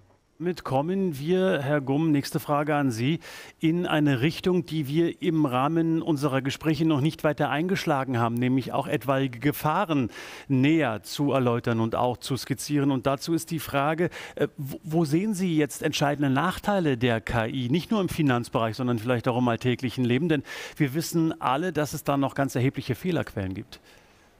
Ja, es, ähm, es muss beides mitziehen. Ich sehe auch oft den Bereich IT-Security, was ja ein Riesenthema ist an der Börse. Ähm, äh, diverse amerikanische Softwarefirmen, die natürlich mittlerweile völlig cloud-basiert die neuesten KI-Modelle zum Schutz von den neuesten KI-Modellen einsetzen. Das ist natürlich, die, du, du nutzt die Technologie, um es gibt immer Diebe und Betrüger, die wird es auch immer geben. Die hat es gegeben, wo Bargeld eingeführt worden ist vor 2000 Jahren. Ähm, da hat man einfach die Münzen gefälscht mit, mit, mit, mit, mit, mit, mit Blei und mit, mit Kupfer und hat es zu Gold mit einer Goldlegierung äh, verkauft. Und jetzt ist es genau das Gleiche. Genau, also ich habe das Tool jetzt noch nicht auf dem Radar, aber es ist natürlich scary, wenn eine, wenn eine, wenn eine Sound-App zwei Sekunden braucht, um mich zu imitieren. Die ruft morgen bei meinem Banker an und überweist das Geld zu, äh, zu, zu einer anderen Bank und hoffentlich hat dann äh, mein Banker meine Telefonnummer, um mich wirklich dann nochmal zurückzurufen. Ähm, und natürlich müssen Sicherheitsstandards mitziehen. Also für mich ist es immer, es gibt eine neue Technologie, die hat Chancen und Risiken. Und die Technologie muss dann im Endeffekt mitziehen, um auch wieder ähm, den, den, Benchmark zu setzen. Aber die Welt wird digitaler in allen Facetten und ähm, ja, äh, da gibt es natürlich auch Risiken. Mhm. Heimuger, wie kann man denn ähm, ich interpretiere jetzt mal frei die Frage, wie kann man denn verhindern, dass KI, dass eine äh, solche Technologie als mächtige Waffe genutzt werden kann und äh, damit auch für kriminelle Zwecke verwendet werden kann? Denn man kann beispielsweise sich ja da auch man traut sich es kaum auszusprechen, aber Chemikalien zusammenmixen, Bomben bauen etc. pp. Ja, in der Tat äh, ist das möglich. Ähm, ich denke, wie bei allen und vielleicht noch viel wichtiger als bei KI heißt es, äh, den Menschen der nachfolgenden Generation, den Kindern, das mache ich extrem, die Sinne zu schärfen, zu sagen, hinterfragen. Es werden die Dinge schwer zu unterscheiden sind, was ist Fake, was ist Realität. Aber das ist es ja nun schon eine ganze Zeit im Internet, ja. Äh, und ich sage immer wieder, bitte schaltet den gesunden Menschenverstand ein. Schaltet ihn ein, prüft es, ja überlegt nach Quellen. Kann das wirklich sein, was mir hier suggeriert wird? Kann das so sein? Ja, ähm, natürlich müssen wir alte Menschen mitnehmen. Ja, die wir kennen ja schon die Betrüger, Betrügermaschen, dass hier Stimmen implementiert, der Enkel anruft und sagt, Oma, ich bin in einer Notlage, überweis mir 10.000 Euro. Auf 2.0, ja, ne? So, genau, das äh, ist, die, ist die Frage und das kann nur über Aufklärung äh, funktionieren und die Angst nehmen. Wir müssen das Ding ist nicht zurückzudrehen. Es ist so. Wir müssen nach vorne gehen. Wir müssen äh, aufklären. Wir müssen alle mitnehmen. Wir müssen Angst nehmen, denn Angst ist immer ein schlechter Ratgeber, war es schon immer. Ja? Und ähm, das ist, glaube ich, das ganz Entscheidende an, an, der, an, an der Geschichte. Und äh, es verbietet niemanden, äh, auch im Zeitalter der KI den gesunden Menschenverstand einzuschalten. Ähm, Herr Ries, Frage an Sie. Wir haben vorhin von Lama gehört. Ich habe vergessen, Herr Meixner, übrigens, was Lama hieß, aber das ist auch nicht so schlimm, weil jetzt geht es nicht um Lama, sondern um FOMO. Und das wissen wir auch, Fear of Missing Out. Nämlich, dass es wirklich einige gibt, die sagen, ich habe jetzt wirklich Angst, nicht mehr dabei zu sein. Und sagen, ey, jetzt kaufen und immer wieder neu kaufen und nachkaufen, wenn gleich die Kurse so gestiegen sind. Ähm, die Frage lautet, in der Tat jetzt kaufen, nachdem wir so einen Aufwärtstrend an der Nasdaq auch gesehen haben bei den Tech-Werten, ähm, oder lieber auf eine Schwächephase warten? Das ist die Glaskugelfrage, ich weiß, aber ich will sie gern weitergeben. Also äh, generell sind wir verhalten optimistisch, weil wir auch sehen, dass die Rezession, die überall gesehen wurde, nicht so eingetreten ist und auch unseres Erachtens in der Schwere nicht eintreten wird, sondern dass die Unternehmen, auch die wir treffen, der, im Durchschnitt mit Ausnahmen sehr verhalten optimistisch sind. Ähm, das Timing ist immer die Frage. Ähm, es kann immer Rücksätze geben, aber Investitionen in neue Trends, gerade wie wir sie machen, pro Unternehmen, die Gewinne oft fünf oder zehn oder sogar noch mehr Jahre davon profitieren, die darf man nicht kurzfristig sehen. Ne? Man kann ja auch jetzt einen Teil investieren und dann äh, ein bisschen nachlegen. Ein Sparbrief ist, äh, äh, Sparplan ist zum Beispiel ein ziemlich gutes Vehikel dafür, zu, um äh, auch diese Timing-Geschichte über den Griff zu kriegen. Aber ich bin da voll einer Meinung mit meinen Kollegen, wir stehen erst am Anfang. Mhm. Wir werden in ein paar Jahren zurückblicken und sagen, Mann, wie sind wir eigentlich ohne das ausgekommen, was es jetzt alles gibt, was uns KI und Digitalisierung gebracht hat, genauso wie wir uns heute mal vorstellen können, keinen PC nutzen zu können, kein Internet zu haben, kein Mobilfunkgerät zu haben, kein Smartphone. Das wird die Welt verändern in der Form auch mit ganz neuen Anwendungen, ganz neuen Geräten, die es vielleicht gibt, ganz neuen Unternehmen, die an den Markt kommen werden, die wir uns noch gar nicht vorstellen können. Da ist der Fantasie noch keine Grenze gesetzt. Und wir werden vielleicht im Jahr 2035, 40 zurückgucken und sagen, wow, wie, wie, war das eigentlich damals? Wie, wie heute die Jugend mich fragt, wie habt ihr euch damals eigentlich getroffen? Wie habt ihr eigentlich gelebt ohne Smartphone? Und so ähnlich wird das vielleicht auch sein. Und das, das fängt erst an und das gibt noch viele, viele Chancen. Und damit sind wir in der Tat beim Ausblick, in der Schlussrunde. Ähm, Herr Gumm hat auch gerade schon angesetzt. Ging es schon in die, in die Zukunft oder um einen Return? Legen Sie los. Ja, wenn, wenn ein Zuseher hier die Frage hat, äh, hätte ich noch eine interessante Statistik, wo ich nur noch beibringen wollte. Und zwar von Bloomberg. Ist ja ein sehr bekanntes Haus äh, und die sind ja nicht bekannt für euphorische und verrückte Prognosen. Und die haben letzte Woche den äh, Applikationsmarkt der generativen KI bis 2030 geschätzt. Und der steht jetzt bei 20 Milliarden und soll auf fast eine Trillion, also auf 800 Milliarden sich verzwanzigfachen von, von in den nächsten acht Jahren. Und vielleicht die als, als, als Antwort auf die Frage des, des Zusehers, der, die führenden Technologiefirmen wachsen mit 20 Prozent auf bestehenden Technologien. Und jetzt muss man sich fragen, geht das Ding nach oben oder wachsen die zukünftig nicht mehr? Also wenn man das KI nochmal on top liegt, könnte man sicher bei 25 bis 30 Prozent liegen. Und wenn man sich dann die Wachstumskurse, ich habe das heute Vormittag auch auf der Konferenz äh, äh, kurz äh, ne, aus, ausgemalt, dann könnte man sich ein Kurspotenzial für die großen Technologiefirmen für die nächsten 24 Monate durchaus im Bereich von 40 Prozent vorstellen. Das ist natürlich jetzt Glaskugel, aber das sind einfach nur die Werte der Vergangenheit fortgeschrieben mit einem kleinen Kick nach oben mit den neuen Tools. Also äh, Markttiming ist schwierig, in Tranchen ist man immer der Sieger, weil man immer dabei ist. Mhm. Äh, und weil wir dabei sind, wir können uns gar nicht vorstellen, was vielleicht in 10, 15 Jahren möglich ist. Dazu dann auch die Schlussrunde. Übrigens, ich habe jüngst eine, äh, einen Schulbesuch gehabt und äh, habe dort auch ein paar Fragen beantwortet. Wir haben uns mit den Kindern unterhalten, weil sie gesagt haben, man kann sich gar nicht mehr vorstellen, was möglich ist. Da war tatsächlich die Frage, ich glaube, es war ein Zehnjähriger, wie habt ihr früher Instagram genutzt und Facebook, als es noch gar keine Computer gab? Äh, und diese Frage, ja, das ist genau der äh, Punkt von hinten durch die Brust ins Auge. Herr Meixner muss auch schmunzeln. Jetzt aber Schlussrunde. 2030 oder machen Sie 2040, ist mir auch egal. Weit voraus Ihre Vision zum Thema KI, nicht nur im Finanzwesen, gerne Finanzwesen, aber auch allgemein, Herr Meixner. Legen Sie los.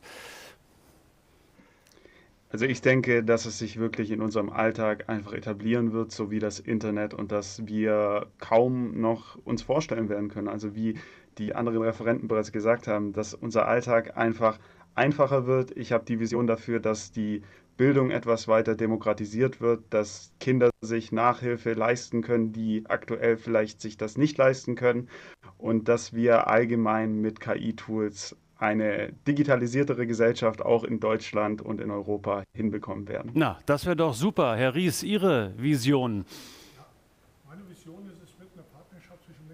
Maschine geben. Wir werden da viel mehr zusammenwachsen und der, der, die KI und äh, ich sage mal, die Maschine ist der natürliche Freund und Partner, der mir in vielen Dingen helfen wird.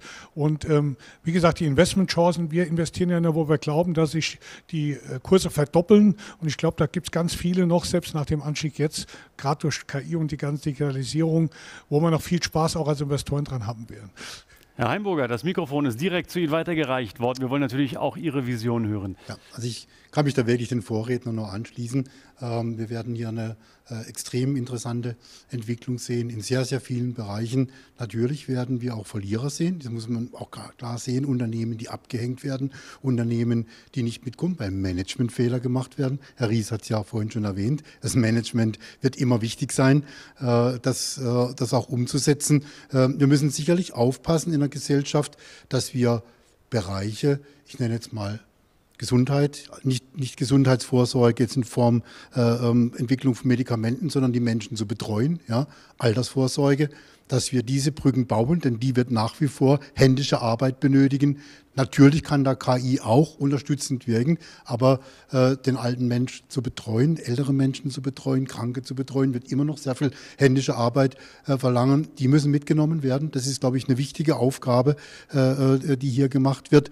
Und nochmal ganz Appell, Angst weg, offenes Visier und mit gesundem Menschenverstand was draus zu machen und auch den kriminellen Machenschaften die Stirn bieten. Herr Gumm, Ihr Schlusswort. Vielleicht irgendwas Verrücktes auch mit Blick auf 2030, 2040 und sagen Sie nicht, ich möchte mich meinen Vorrednern anschließen. Ja, äh, ja gut, na, da fällt mir gerade was ein, was ich gestern Abend äh, mitbekommen habe. Da war ein Zukunftsforscher, der hat gesagt, wir müssen 2035 erleben, dann werden wir 100 Jahre alt. Ja? Ähm, also das ist vielleicht schon mal... Äh, möchten wir das? Möchten wir das, genau. Aber ich will es natürlich noch mal ein bisschen auf die Börse zurückführen. Wir sind ja hier in einer, in einer Investmentrunde ja.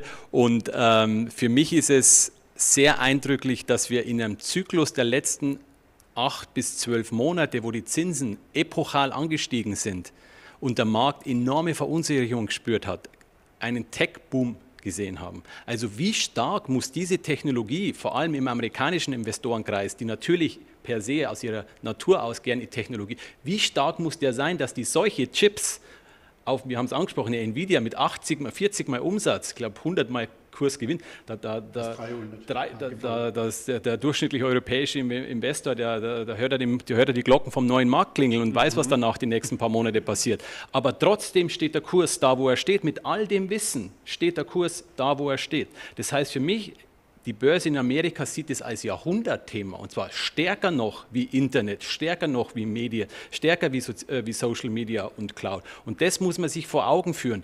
Dieser, dieser Trend, wie wir arbeiten, wird fundamental shiften. Und ich glaube, wir unterschätzen es alle. Ich habe es selber wahrscheinlich auch unterschätzt, äh, wo wir, wo wir uns gesehen haben. Und es ist zukünftig nicht KI gegen Mensch. Es ist KI mit Mensch gegen KI ohne Mensch sozusagen. Also jeder wird sich assistieren lassen auf die eine oder andere Weise. Und ich glaube, das im Hintergedanken dass man diese Tools jetzt nützen muss, weil die Welt digitaler wird und nicht analoger. Und das müssen wir vor allem auch hier im Bereich äh, der, der, der, des Asset Managements eben diese Tools nutzen, aktiv, weil die internationalen Investoren werden es machen. Und was mich etwas beruhigt, einer von Ihnen hat es vorhin gesagt, die Bedeutung des gesprochenen Wortes wird stärker werden, in welchem Zusammenhang auch immer, aber das unterstreicht das, was wir heute gemacht haben. Wir haben nämlich das gesprochene Wort in den Mittelpunkt gerückt. Dankeschön, Herr Meixner. Nächstes Mal sind Sie hier in Hamburg. Wir laden Sie herzlich ein an den Ballindamm, da verpassen Sie nämlich was. Schöner Blick auf die Binnenalster. Äh, meine Herren hier im Studio, ähm, ganz herzlichen Dank für Ihren Besuch in Hamburg. Das hat sehr, sehr viel Spaß gemacht. Wir haben eine Menge gelernt und sind alle ein Stück weit schlauer geworden und darum geht es ja in diesen Runden. Dankeschön.